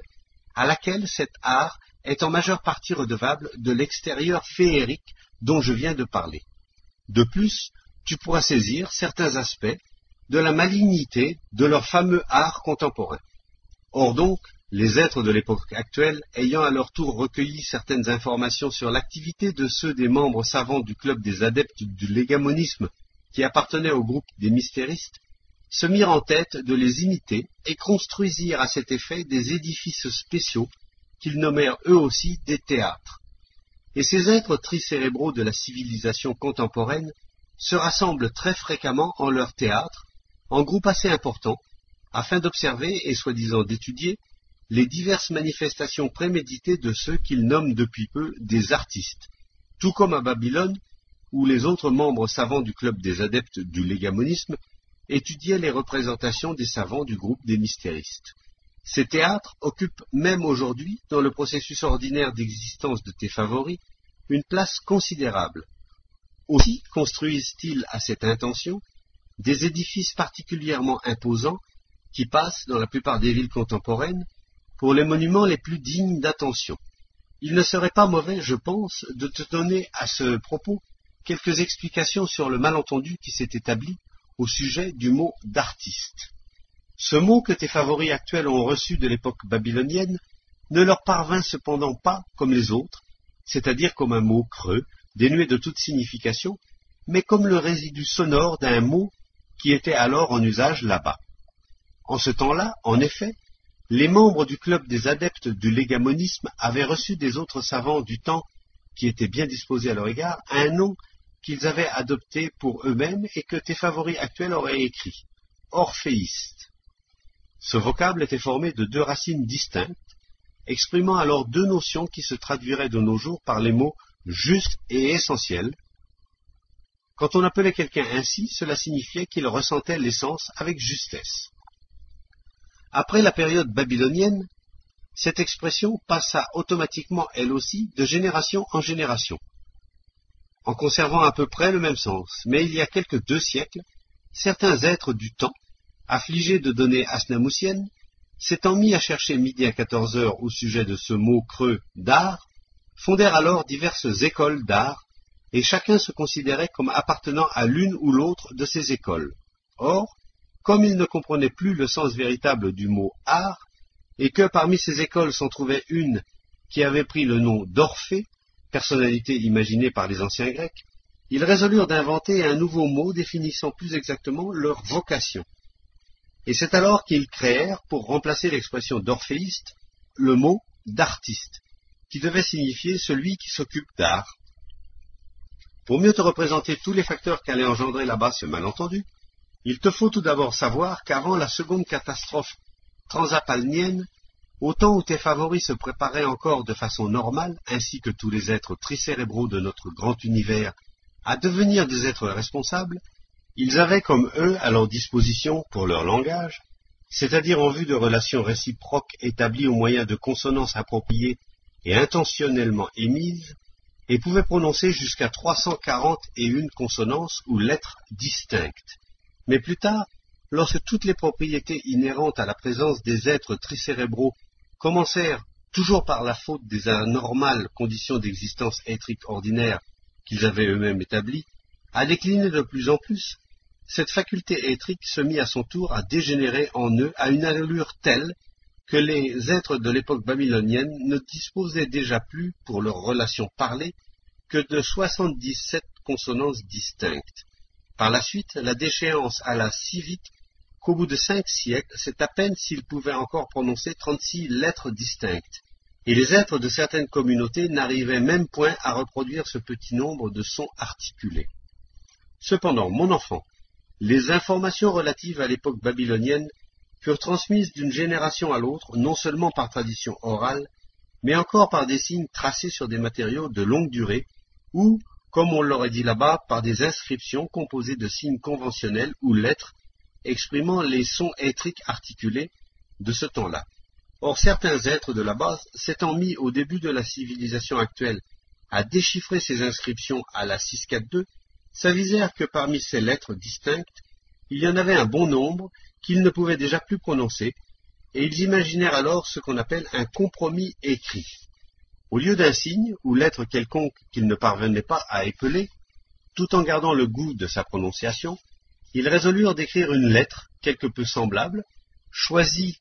parmi celles que refermait en ce temps-là leur alphabet,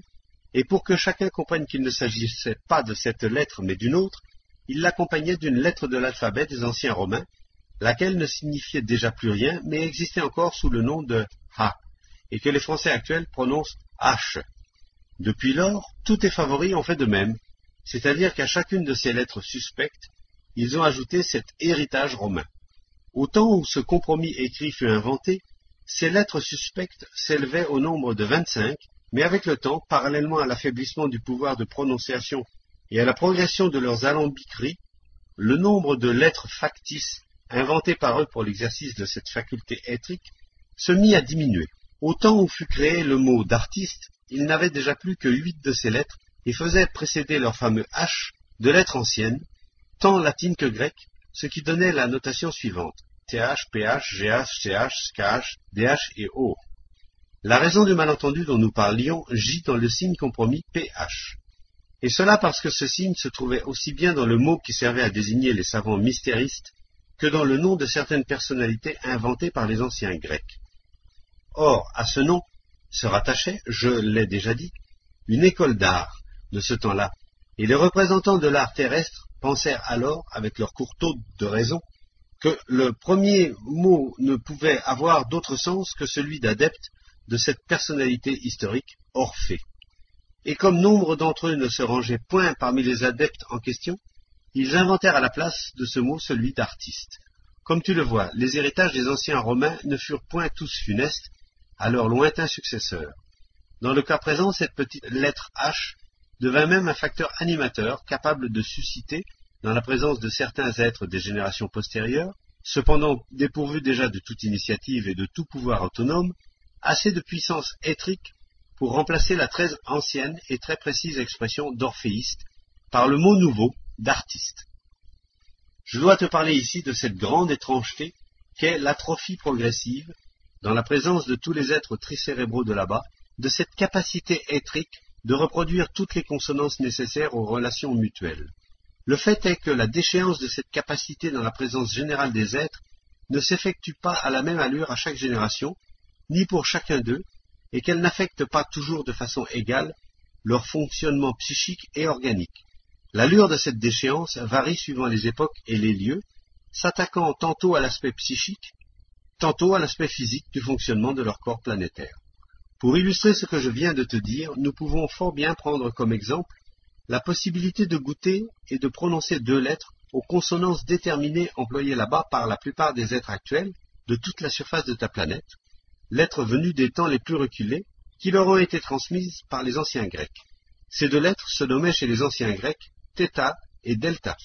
Il est intéressant de remarquer ici que chez tes favoris des temps anciens, ces deux lettres étaient spécialement destinées à participer à la formation de deux sortes de noms bien distincts et de significations tout à fait opposées. L'usage de la lettre θ était réservé aux mots exprimant une idée relevant de la notion de bien, et celui de la lettre delta aux mots évoquant la notion de mal. Par exemple, théos, qui veut dire Dieu, et daimon, qui veut dire démon. La signification de ces deux lettres, de même que le goût de leurs consonances, furent transmis à tous les êtres de la civilisation actuelle, qui notent pourtant, on ne sait pourquoi, ces deux lettres différentes et des sens absolument opposés au moyen d'un seul et même signe, celui de th. Par exemple,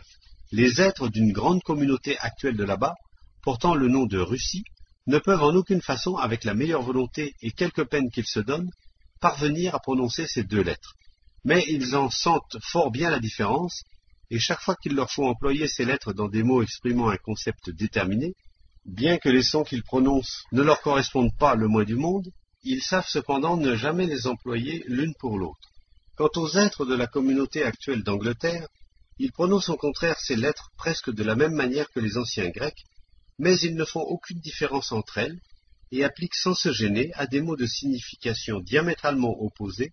un seul et même signe conventionnel, leur fameux TH. Entre autres, lorsque les êtres de cette Angleterre actuelle prononcent leur expression favorite, qu'ils ont toujours sur les lèvres de thank you,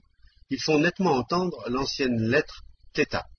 Et lorsqu'ils prononcent leur non moins courante expression de der, on y retrouve clair et distinct l'ancienne lettre delta. Néanmoins, ils se servent pour ces deux lettres, sans le moindre remords de conscience, de leur paradoxe universel, le TH. Mais en voilà assez sur cette question philologique de là-bas. Continuons plutôt à examiner les raisons pour lesquelles tes favoris actuels ont pris l'habitude d'édifier un peu partout des théâtres. Voyons ce qui font au juste leurs artistes contemporains et comment ils s'y manifestent. À mon avis, leur coutume de se rassembler au théâtre, par groupes parfois assez importants, s'explique par le fait que ces théâtres contemporains, avec tout ce qui s'y passe, répondent par hasard au mieux de la présence générale, anormalement constituée, de la plupart des êtres tricérébraux actuels, qui ont complètement perdu le besoin, propre aux êtres tricérébraux, de manifester en tout leur propre initiative et dont l'existence ne se maintient que grâce à des impulsions accidentelles venues du dehors ou sur l'injonction des conséquences cristallisées en eux de l'une ou de l'autre des propriétés de l'organe Kunda Dès le début de la vogue de leur théâtre, ils s'y rassemblaient, comme ils le font encore aujourd'hui, non pour regarder et étudier les interprétations de leurs artistes contemporains, mais uniquement pour satisfaire l'une des conséquences des propriétés de l'organe Kunda très vite cristallisé dans la présence générale de la plupart d'entre eux, qui portait le nom d'Ournel, et que tes favoris actuels nomment Paradé. Et cette conséquence de l'organe buffer inspire à la présence de la plupart des êtres actuels l'étrange besoin de provoquer chez les autres l'expression de l'impulsion étrique nommée étonnement, ou même d'en guetter le reflet sur les visages de ceux qui les entourent. Du fait de cet étrange besoin, il n'éprouve de satisfaction qu'à la seule vue de l'étonnement provoqué chez les autres par leur aspect extérieur, arrangé exactement selon les exigences de ce qu'ils appellent là-bas la mode. Funeste coutume, établie dès le temps de la civilisation titi-amouchienne, est devenue de nos jours l'un des facteurs étriques dont l'automatisme ne leur laisse plus ni le temps ni la possibilité de voir et de ressentir la réalité. Cette coutume, qui leur est si funeste, consiste à modifier périodiquement la forme extérieure de ce qu'on appelle le voile de leur nullité. Il est intéressant de remarquer ici que dans le processus général d'existence ordinaire des êtres tricérébraux qui te plaisent, les modifications apportées à ce voile devinrent le privilège de ceux des êtres des deux sexes qui s'étaient déjà rendus dignes d'être candidats au titre d'invidium asnamus. Sous ce rapport, les théâtres actuels conviennent parfaitement à tes favoris, attendu qu'il leur est très commode et facile d'y montrer aux autres, comme ils aiment à le dire, leur coiffure ébouriffante, ou le nœud dernier cri de leur cravate, ou encore le décolleté avantageux des parties dites coupaétarniennes de leur corps, etc. En même temps, ils peuvent y admirer les nouvelles créations de la mode, lancées selon les toutes dernières indications de ces fameux candidats au titre d'individuum asnamus. Quant à la façon dont se comportent en ces théâtres leurs artistes contemporains, pendant que les autres y font la roue, pour t'en faire une idée claire, tu dois avant tout connaître une maladie étrange au plus haut point, qui existe là-bas sous le nom de dramaturgite, et à laquelle la présence de certains d'entre eux se trouve spécialement prédisposée par la seule imprudence de ce qu'on appelle leur sage-femme. Cette criminelle imprudence de leur sage-femme vient de ce que, dans la plupart des cas, avant de remplir leur obligation, elles entrent en passant chez un de leurs clients, où elles boivent un peu plus qu'il ne faudrait du vin qu'il aurait offert. Aussi la sage-femme profère-t-elle, tout en exerçant ses fonctions, certains mots déjà fixés dans le processus d'existence ordinaire de tes favoris, comme une incantation de leur sorcier, et le pauvre nouvel être perçoit avant toute chose, dès le premier moment de son apparition, à la lumière du jour, les paroles de cette maléfique incantation. Et cette incantation se formule ainsi. Qu'est-ce qui m'a fichu un gribouille pareil? Or, mon enfant, de par cette criminelle imprudence de la sage-femme, s'implante dans la présence du pauvre nouvel être la prédisposition à l'étrange maladie dont je parle. Et lorsqu'un de ces êtres tricérébraux de là-bas, ayant acquis dès sa venue au monde cette prédisposition à la dramaturgie, atteint l'âge d'un être responsable, pour peu qu'il soit alors capable d'écrire et qu'il ait envie de le faire, il est immédiatement touché par cette étrange maladie et se met à chercher midi à quatorze heures sur le papier, ou comme on dit là-bas, à composer diverses œuvres théâtrales. Comme sujet de ces œuvres, il choisit à l'ordinaire divers événements soi-disant arrivés dans le passé, ou qui pourraient peut-être se produire dans l'avenir, à moins qu'ils n'appartiennent tout simplement à l'irréalité contemporaine. Entre autres symptômes de cette singulière maladie, la présence générale de l'être qui en est affligé comporte encore sept particularités vraiment spécifiques. La première consiste en ce que, dès l'apparition de cette étrange maladie dans la présence du dit être, se propagent sans cesse autour de lui des vibrations particulières qui ont sur son entourage exactement l'effet d'une odeur de vieux bouc. La seconde veut que, par suite de la modification de son fonctionnement intérieur, la forme extérieure du corps planétaire de cet être subisse à son tour les modifications suivantes. Le nez se porte en l'air, et les mains, comme on dit, en éventail. La parole s'accompagne d'une petite toux particulière, etc. Selon la troisième, cet être se sent toujours péniblement impressionné en face de certaines formations naturelles, et artificielle, tout à fait inoffensive, telle qu'une souris, un bras montrant le poing, la femme du régisseur en chef du théâtre, un bouton sur son nez, la pantoufle gauche de sa propre femme, et quantité d'autres choses. La quatrième particularité l'amène à perdre définitivement toute faculté de comprendre le psychisme de ses semblables ou de le déchiffrer. La cinquième le porte à critiquer, aussi bien intérieurement qu'ostensiblement, tout le monde et toute chose, hormis ce qui vient de lui. La sixième atrophie en lui, plus que chez tous les autres êtres tricérébraux terrestres, les données nécessaires à la perception de quoi que ce soit d'objectif. Et enfin, la septième consiste en ce que surgissent en sa présence des hémorroïdes, lesquels sont, soit dit en passant, la seule chose qu'il porte avec modestie. Dès lors, si l'être atteint de cette maladie a pour oncle un membre de quelque parlement, ou s'il a fait la connaissance de la veuve d'un ancien homme d'affaires, ou encore si, pour une raison ou une autre, il a passé le temps de sa préparation à l'âge responsable dans une ambiance et des conditions telles qu'il y ait acquis automatiquement la propriété appelée s'insinuer son savon, il arrive que les directeurs, ou comme on les appelle encore les propriétaires de brebis, lui retiennent sa pièce et ordonnent à leur artiste de la représenter exactement telle que l'a raffinée cet être atteint de l'étrange maladie de la dramaturgite. Ces artistes actuels commencent tout d'abord par interpréter cette œuvre entre eux, sans témoin, et cela jusqu'à ce que leur interprétation corresponde exactement aux indications données par le malade, ainsi qu'aux ordres du directeur. Lorsqu'ils sont enfin parvenus, sans aucune participation de leur propre conscient, ni de leurs sentiments, à se convertir en ce qu'on appelle des mannequins vivants, ils se font alors aider de ceux d'entre eux qui ne sont pas encore devenus de tels mannequins, ce qui leur vaut le titre de régisseurs, et ils recommencent sous leur direction les mêmes exercices, mais cette fois en présence d'autres êtres ordinaires rassemblés en ces fameux théâtres contemporains. Et maintenant, mon enfant, tu concluras sans peine, d'après tout ce que je viens de te raconter, que ces théâtres, outre les nombreuses conséquences fâcheuses qu'ils entraînent et que je t'exposerai par la suite en détail, ne peuvent plus rien donner qui corresponde au but élevé auquel aspiraient les savants babyloniens quand ils créèrent pour la première fois cette forme de représentation consciente de perception, en prévoyant les réactions associatives qu'elle provoquerait chez les autres êtres leurs semblables. Il faut d'ailleurs reconnaître que leurs théâtres et artistes actuels leur ont valu, par hasard bien entendu, dans le processus de leur existence étrique ordinaire, un petit résultat pas si mauvais. Afin que tu comprennes en quoi consiste ce petit résultat pas si mauvais, il me faut encore t'expliquer une particularité devenue inhérente à la présence générale des êtres surgis selon le principe Itoclanotes. Selon ce principe, l'élaboration dans la présence des êtres de l'énergie indispensable à leur état de veille dépend de la qualité des associations qui s'effectuent en leur présence générale pendant leur complète passivité ou, comme le disent tes favoris, pendant le sommeil, et vice-versa. L'énergie indispensable à la productivité du sommeil s'élabore à son tour au cours du processus associatif qui s'effectue en eux pendant l'état de veille, et elle dépend cette fois-ci de la qualité ou de l'intensité de leur activité. Et il en est ainsi pour ces êtres terrestres tricérébraux, depuis que la grande nature s'est vue contrainte, comme je te l'ai déjà dit, de convertir le principe fulasnitamnien, inhérent jusqu'alors à leur présence, en principe itoclanotes. Dans le processus de leur existence s'établit alors une particularité qui continue à agir de nos jours.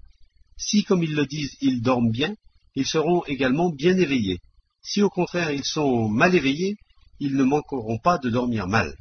Or, mon enfant, comme ils se sont mis les derniers temps à exister par trop anormalement, le rythme automatique jadis établi qui favorisait plus ou moins en eux la production des associations voulues, se trouva lui aussi modifié de sorte qu'à présent ils dorment mal, et que leur état de veille est encore pire qu'avant. Et si ces théâtres d'aujourd'hui, avec leurs artistes, se trouvèrent par hasard servir à l'amélioration de la qualité de leur sommeil, c'est en raison des circonstances suivantes. Lorsque le besoin de réaliser en soi les partoques devoirs étriques eut complètement disparu de la présence de la plupart d'entre eux, et que dans le processus de leur état de veille, les associations qui toutes proviennent inévitablement d'un choc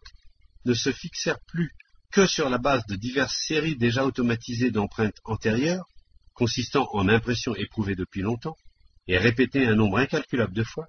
alors disparut à son tour le besoin instinctif inhérent aux êtres tricérébraux de recevoir de nouvelles impulsions, soit de leur partie étrique intérieure, isolément spiritualisée,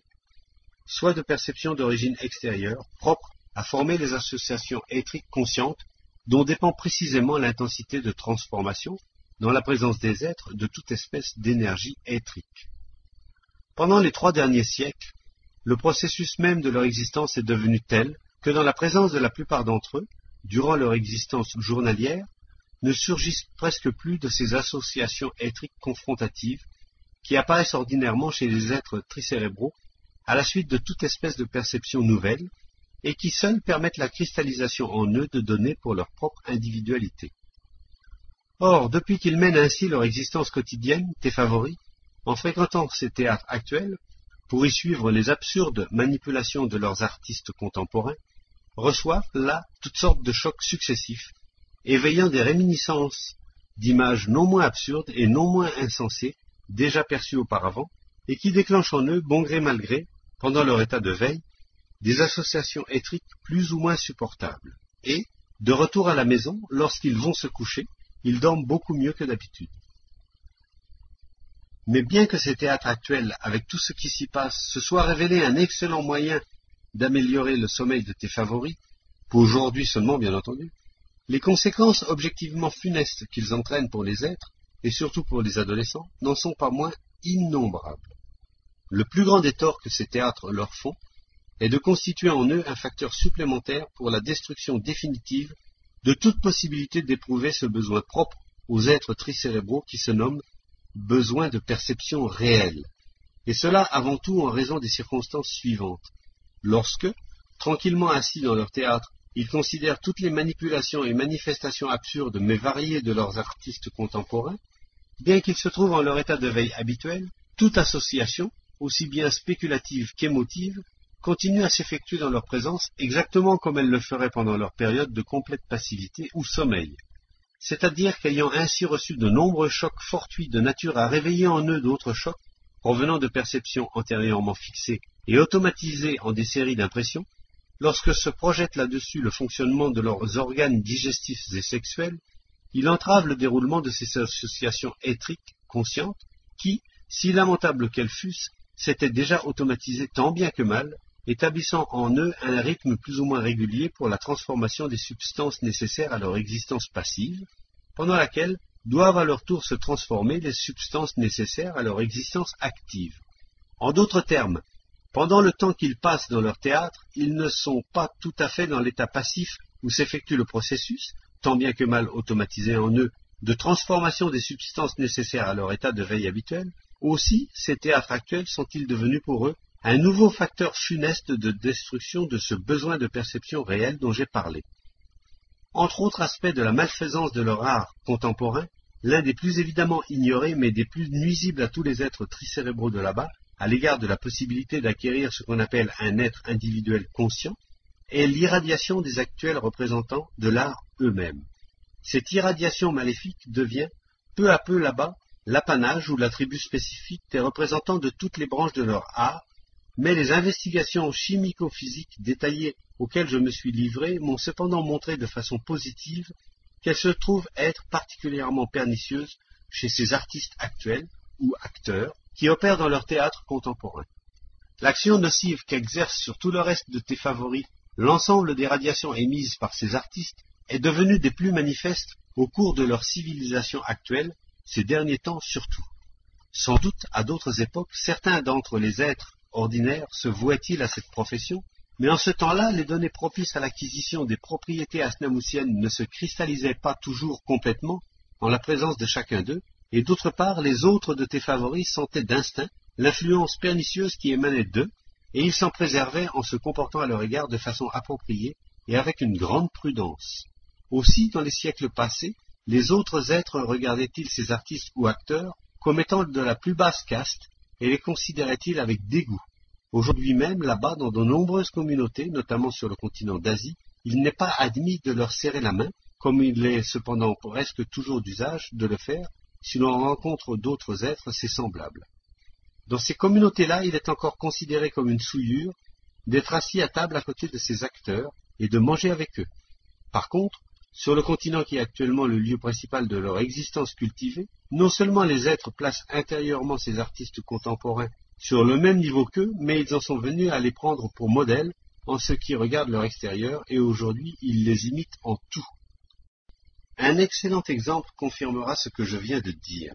C'est la coutume universellement observée aujourd'hui par tes favoris de se raser la barbe et les moustaches. En effet, dans les époques passées, ces artistes professionnels terrestres devaient toujours avoir, dans le processus de leur existence ordinaire, la barbe et les moustaches rasées. Et s'ils devaient ainsi raser ces témoignages de leur virilité et de leur activité, c'est d'abord parce que, jouant toujours le rôle d'autres êtres, il leur fallait fréquemment changer d'aspect, non seulement en appliquant sur leur visage le grimage approprié, mais encore en mettant des perruques ainsi que des barbes et moustaches postiches, ce qu'il est impossible de faire tant qu'on garde les siennes. Et d'autre part, parce que les êtres ordinaires de toutes les anciennes communautés de là-bas regardaient ces artistes comme sales et malfaisants, et craignant de ne pouvoir à l'occasion les reconnaître dans les conditions ordinaires d'existence, et de les coudoyer par mégarde, ils avaient fait promulguer partout un décret prescrivant aux êtres exerçant la profession d'artiste ou d'acteur d'avoir toujours à se raser la barbe et les moustaches. À propos de cette coutume imposée aux artistes, je viens de me rappeler à l'instant, tandis que je t'en expliquais les raisons, certaines mesures de justice fort sensées et très économiques, prises par des êtres tricérébraux de l'époque de la civilisation ticliamouchienne, et se rapportant aussi à la tonsure des poils, mais cette fois de ceux qui poussent sur la tête. Il avait été établi en cette période une loi dont l'application était des plus strictes, décrétant que les criminels de petite importance, inculpés, après examen et sentence de sept êtres âgés de leur district, de quelque immoralité ou forfait se rattachant à l'une des quatre catégories prévues, criminels dont regorgent aujourd'hui presque toutes leurs prisons, seraient condamnés à se présenter partout pour un temps déterminé avec l'un des quatre côtés de la tête rasée. De plus, chacun d'eux était tenu pendant une rencontre ou une conversation avec d'autres gens de toujours avoir la tête découverte. Il est intéressant de remarquer qu'il existait également une loi analogue à celle de la tonsure et s'appliquant aux actions immorales des femmes. Il existait en effet pour les femmes un décret, strictement appliqué lui aussi, et soumis cette fois-ci au jugement de sept femmes âgées du district, ayant mérité le respect par leurs actions passées. Les peines encourues par les femmes visaient quatre manifestations licencieuses, alors considérées là-bas comme de la plus grande immoralité. Si l'entourage remarquait qu'une femme faisait preuve de négligence envers ses devoirs de famille, n'y apportant point l'attention voulue, ce que devaient confirmer les sept respectables femmes âgées, elle était alors tenue, au terme de cette loi, de se montrer partout pendant un temps donné, avec les lèvres peintes.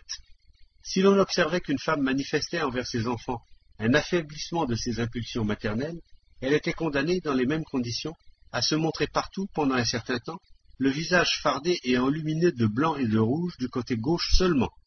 S'il était établi qu'une femme manifestait un penchant à écarter les possibilités de concevoir un nouvel être en vue de la continuation de son espèce, on la condamnait à se montrer aux autres, le visage fardé et enluminé de blanc et de rouge, mais cette fois du côté droit seulement.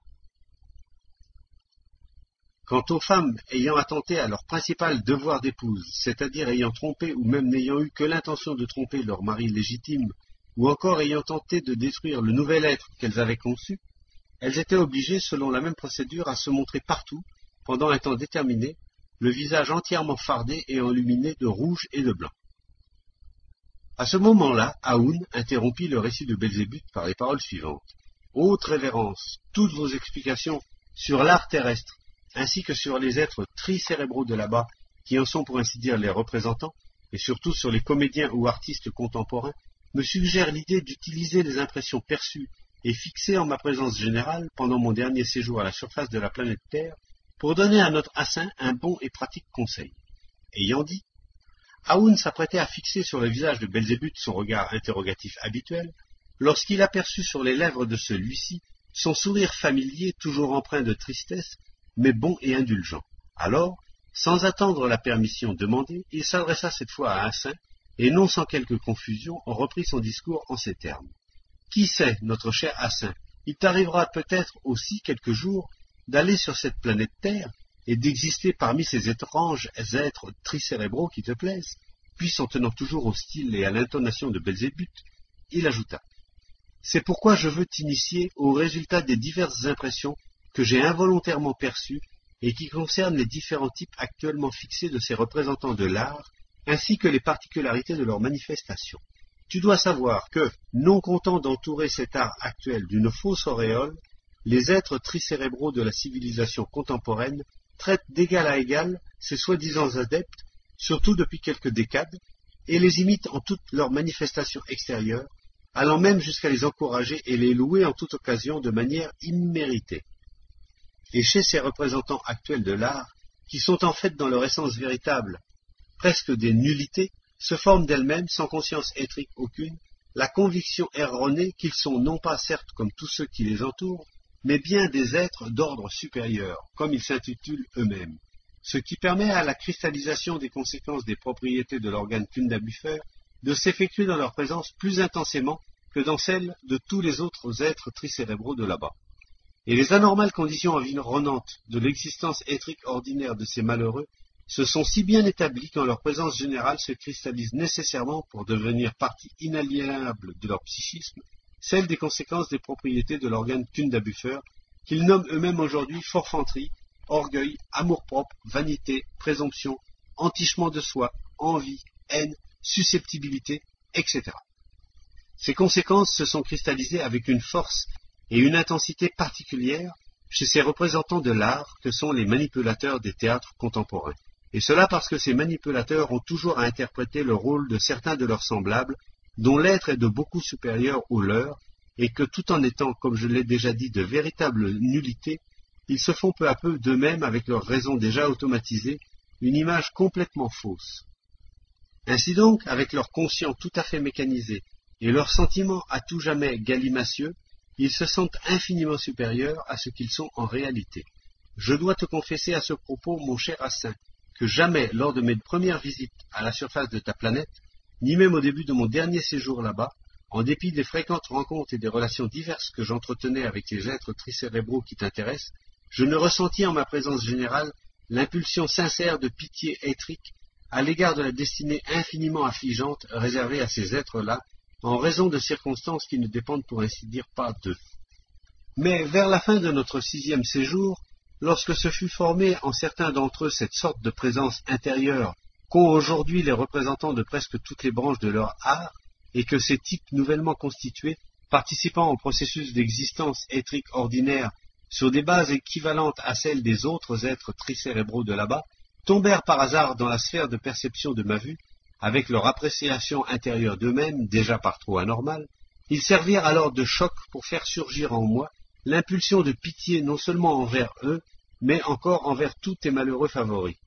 Essaye à présent de considérer entre tous les êtres tricérébraux de là-bas, non pas n'importe lesquels des représentants de leur art contemporain, mais seulement ceux qui deviennent dignes d'acquérir le titre d'artiste ou acteur.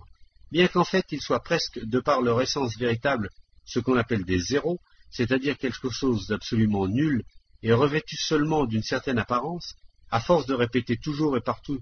leur exclamation favorite dans le genre de génie, talent, don et quantité d'autres expressions aussi vides qu'ils le sont eux-mêmes, ils finissent par se convaincre qu'ils sont les seuls à être d'origine divine, qu'ils sont les seuls à être des demi-dieux. Maintenant écoute, et tâche de transmuer dans les parties voulues de ta présence générale, pour t'en servir en son temps, le conseil pratique entre tous que je vais te donner. S'il t'arrivait, pour quelque raison, d'exister parmi tes favoris de cette planète Terre, surtout dans un avenir proche, je dis proche car la présence des êtres tricérébraux tes favoris dégénère fréquemment, comme toutes les conditions extérieures déjà fixées de leur existence étrique ordinaire, et que tu veuilles, comme il est propre à un être tricérébral conscient, entreprendre là-bas quelque affaire ayant pour but le bien des êtres de ton entourage, et dont la réalisation dépend en partie d'eux-mêmes, quelle que soit la communauté contemporaine où tu te trouves, et les cercles que tu fréquentes dans l'intérêt de ton affaire, si jamais tu rencontres certains de ces artistes de là-bas, ne manque jamais de te montrer d'une extrême prudence et prends toutes les mesures voulues pour rester en bon terme avec eux. Afin que tu saisisses la raison pour laquelle il faut être si prudent avec eux et que tu puisses mieux te représenter ces types terrestres contemporains et les comprendre sous toutes leurs faces, je dois absolument t'expliquer deux faits qui sont devenus là-bas des plus évidents. Le premier, c'est que toujours en raison des conditions anormalement établies d'existence étrique ordinaire, ainsi que de la funeste idée chimériquement outrée de leur fameux art, ces représentants de l'art, selon l'idée préconçue que se font d'eux les autres êtres tricérébraux de là-bas, sont entourés d'une auréole imaginaire et acquièrent ainsi automatiquement une telle autorité qu'en toute chose, les autres de tes favoris font le plus grand cas de leur opinion et la considèrent comme une vérité incontestable. Le second fait vient de ce que ces types contemporains acquièrent, pendant leur formation, une présence intérieure telle qu'ils sont capables, sans en être conscients le moins du monde, de se faire aussi facilement l'esclave d'un autre qu'ils peuvent en devenir avec le seul changement des circonstances extérieures, l'ennemi le plus juré. C'est pourquoi je te conseille d'être extrêmement prudent avec eux, afin de ne point en faire des ennemis et de ne pas te créer ainsi en leur présence un obstacle à la réalisation de tes desseins. Or donc, notre cher Assin, le tiemiès de mon conseil, pour le cas où il te faudrait effectivement exister parmi les êtres de la planète Terre et rencontrer ces représentants de l'art actuel, c'est avant toute chose de ne jamais leur dire la vérité en face. Que le sort t'en préserve. Toute vérité leur est une grave offense, et c'est de là que naît presque toujours leur animosité envers les autres. À pareil type terrestre, il ne faut dire en face que ce qui peut chatouiller les conséquences infailliblement cristallisées en eux des propriétés de l'organe Kunda-Buffer que j'ai déjà énuméré, soit l'envie, l'orgueil, l'amour-propre, la vanité, le mensonge, etc. Et d'après ce que je remarquais pendant mon séjour là-bas, les manières de chatouiller qui agissent à coup sûr sur le psychisme de ces malheureux sont les suivantes. Que l'un de ces représentants de l'art ait une face de crocodile, dis-lui qu'il évoque de façon irrésistible l'image d'un oiseau de paradis. Qu'un autre soit bête comme un bouchon, Dis-lui que son esprit égale celui de Pythagore, qu'il se soit comporté en quelque affaire de manière suprêmement idiote, dis-lui que ce grand malin de Lucifer n'aurait rien pu trouver de mieux, que si tu devines sans peine à sa mine qu'il est porteur de certaines maladies de là-bas, grâce auxquelles il pourrit positivement de jour en jour, donne à ton visage l'expression de la plus vive surprise et demande-lui Dites-moi un peu, mon cher, quel secret détenez-vous pour avoir toujours cette mine juvénile, ce teint de lys et de rose, et ainsi de suite. Tu dois te rappeler une seule chose, ne dis jamais la vérité. Bien qu'il faille agir de la sorte avec tous les êtres de cette planète, c'est particulièrement indispensable avec les représentants de toutes les branches de l'art contemporain. Ayant dit, Aoun, avec une affectation pareille à celle d'une courtière en mariage de la malmaison, assistant à la bénédiction nuptiale de ses clients, ou à la milauderie d'une modiste de Paris assise à la terrasse de ce qu'on appelle un café ultra chic, se mit à remettre de l'ordre dans les bouclettes de sa queue. Alors Assin, le regardant avec son habituel sourire, empreint de sincère gratitude, lui dit Merci infiniment, mon cher Aoun, de ton conseil et de tous les éclaircissements que tu m'as donnés sur certains détails de l'étrangeté du psychisme des êtres tricérébraux de cette planète de notre grand univers, si outragé sous tous les rapports. Puis, se tournant vers Belzébuth, il lui adressa les paroles suivantes. Explique-moi, je t'en prie, cher grand-père, se peut-il vraiment que les dessins et les efforts des savants babyloniens n'aient abouti à rien et que rien, absolument rien, ne soit parvenu aux êtres tricérébraux actuels de cette étrange planète, des fragments de connaissances que l'on avait alors acquis sur la Terre? À la question de son petit-fils, Belzébuth répondit Oui, mon enfant, pour la plus grande affliction de tout ce qui existe dans l'univers, presque rien n'est resté intact des résultats de leur labeur, et rien n'en est devenu le patrimoine de tes favoris actuels. Les informations insérées de la manière que j'ai décrite ne se sont transmises de génération en génération que pendant quelques siècles, peu après la période de la grandeur babylonienne, par suite cette fois encore de leur principale particularité, c'est-à-dire de leur processus périodique de destruction mutuelle, non seulement les êtres ordinaires de là-bas finirent par oublier à peu près tout du légamonisme contenant les clés des inexactitudes légales à la loi de Seth, introduite dans toutes les branches des Afalkaranas et Nokas humains, mais ils perdirent à la longue, comme je l'ai déjà dit, jusqu'à la notion de la loi universelle de l'état sacré qu'ils nommaient alors à Babylone loi de Seth. Toutes les œuvres conscientes des êtres de la période babylonienne furent peu à peu détruites, soit parce qu'elles en vinrent à se corrompre d'elles-mêmes par l'effet du temps, soit en raison du processus de destruction mutuelle, lorsque cette psychose atteint ce que l'on nomme le stade de destruction de toute chose existante tombant dans la sphère de perception visuelle. Telles sont les deux principales raisons pour lesquelles presque tous les résultats consciemment réalisés par les savants de l'époque babylonienne ont disparu de la surface de cette infortunée planète à une allure telle qu'au bout de trois de leurs siècles, il n'en restait déjà presque plus rien. Il importe de remarquer encore que la seconde de ces raisons amena peu à peu le déclin, puis la disparition presque totale de l'usage de cette forme nouvelle, ébauchée, puis mise au point en ce temps-là à Babylone, sous laquelle il transmettait aux générations suivantes diverses informations et des fragments de savoir par l'entremise d'êtres nommés des initiés à l'art. Je n'ignore rien de la façon dont a disparu cette coutume par laquelle certains êtres devenaient des initiés à l'art, car juste avant de quitter pour toujours cette planète, il m'a fallu éclaircir la chose à fond pour un autre de mes buts. Je préparais même spécialement à cette fin une excellente ticlunia choisie parmi les êtres de sexe féminin de là-bas, et c'est par elle que j'obtins les éclaircissements désirés. Les ticlunia étaient autrefois désignés là-bas sous le nom de Pythonis. Les êtres actuels les nomment des médiums. J'établis alors que, les tout derniers temps, il ne restait plus que quatre de ces êtres initiés à l'art, grâce auxquels les clés de la compréhension de l'art ancien continuent à se transmettre par voie d'hérédité en ligne directe, et que cette transmission héréditaire s'effectue aujourd'hui là-bas en des conditions très compliquées et mystérieuses. Parmi ces quatre êtres initiés qui vivent de nos jours, l'un descend des êtres qu'on appelle les peaux rouges, habitant le continent d'Amérique, un autre des êtres peuplant les îles Philippines, le troisième des êtres du continent d'Asie, qui habitent la région des sources du Pyongyé, et le quatrième et dernier de ceux que l'on nomme les Esquimaux. Écoute bien maintenant, et tu sauras pourquoi j'ai employé l'expression de presque, en disant que trois de leurs siècles après la période babylonienne avaient presque complètement cessé d'exister toute reproduction consciente ou automatique des Afalkalnas et Solginokas humains. En fait, deux des branches de leur science auxquelles se rattachaient les œuvres consciemment exécutées de main d'homme pendant la période babylonienne rencontrèrent par hasard des conditions favorables, et certains de leurs éléments passèrent de génération en génération soit de façon consciente de la part des êtres qui se chargeaient de les transmettre, soit automatiquement. L'une de ces deux branches a récemment cessé d'exister, mais l'autre est parvenue, et même presque sans aucune modification, jusqu'à certains êtres actuels.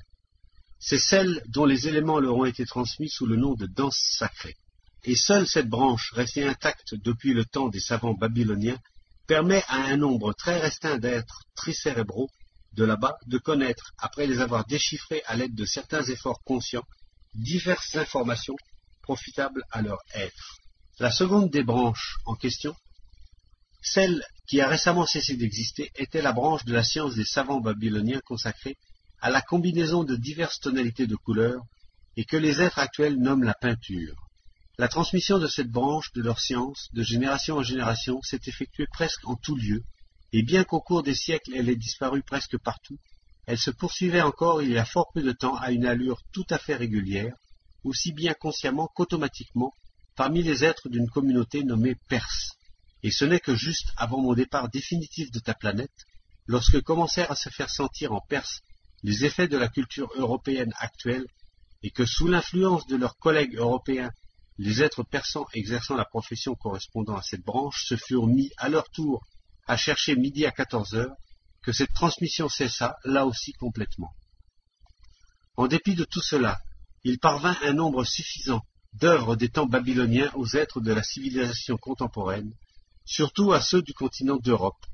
Mais ces êtres, sans même soupçonner les trésors de sagesse cachés en ces œuvres, qui n'étaient pas des originaux mais seulement des copies à moitié effacées, exécutées par leurs ancêtres proches, lesquels n'étaient pas encore tout à fait devenus des plagiaires,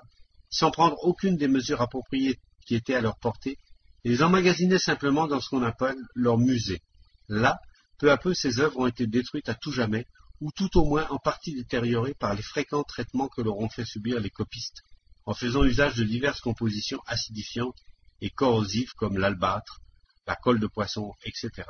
à seule fin de se vanter devant leurs camarades ou de duper leurs professeurs, ou encore pour d'autres buts asnamoussiens. En toute justice, il faut reconnaître que parfois, devant ces œuvres qui leur étaient parvenues par hasard, soit sous leur forme originale, spécialement créée à Babylone par les membres du club des adeptes du légamonisme, soit sous forme de copies qu'on avait faites au cours de leur transmission d'une génération à l'autre divers professionnels consciencieux, auxquels, comme je viens de le dire, il n'était pas encore tout à fait devenu inhérent de plagier, et, partant, de recourir au remaniement détaillé de ces œuvres en vue de les faire passer pour leurs,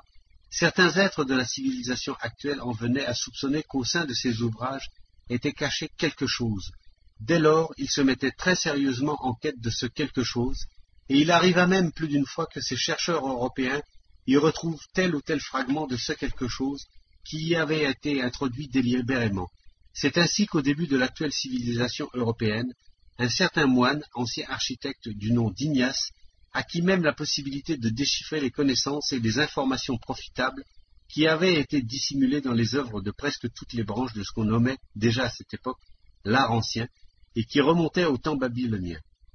Mais lorsque le moine Ignace fut sur le point de faire part de sa découverte, comme on dit, à d'autres êtres de ses pareils, soit en l'occurrence à deux de ses camarades, des moines avec lesquels il avait été envoyé comme spécialiste par son supérieur pour diriger ce qu'on appelle les travaux de fondation d'un temple qui devint célèbre par la suite, ceux-ci le tuèrent pendant son sommeil, pour un motif futile, issu de cette conséquence cristallisée en eux de celle des propriétés de l'organe Kundabuffer que l'on nomme envie, et jetèrent son corps planétaire dans l'étendue d'eau qui entourait la petite île sur laquelle on se proposait d'ériger le temple en question. Ce moine Ignace vint au monde et se forma en tant qu'être responsable sur le continent d'Europe. Mais lorsqu'il eut atteint sa majorité, en vue de s'enrichir d'informations relatives à la profession qui était devenue le but de son existence, celle d'architecte, il se rendit sur le continent d'Afrique, et là il entra dans une confrérie existant alors sur ce continent sous le nom de chercheur de vérité. Plus tard, au temps où cette confrérie ayant émigré sur le continent d'Europe et s'étant agrandie, ses membres prirent le nom de bénédictins, il comptait déjà parmi les frères de tout droit de la confrérie. Le temple dont je viens de parler existe encore aujourd'hui là-bas, et se nomme à présent, me semble-t-il, l'abbaye du Mont Saint-Michel. Sur ce même continent d'Europe, il arriva de loin en loin à quelques êtres d'esprit curieux de remarquer dans les œuvres des diverses branches de l'art qui leur étaient parvenues des temps anciens des inexactitudes légales, mais à peine avaient-ils découvert la clé qui leur livrait la compréhension de ces inexactitudes que leur existence prenait fin. Un autre être du continent d'Europe, ayant fait les mêmes remarques et s'y intéressant de jour en jour davantage, parvint par son labeur et sa persévérance à déchiffrer parfaitement les œuvres de presque toutes les branches de l'art. Ce sage être terrestre cérébral se nommait Léonard de Vinci. En guise de conclusion au récit que je viens de te faire sur l'art terrestre contemporain,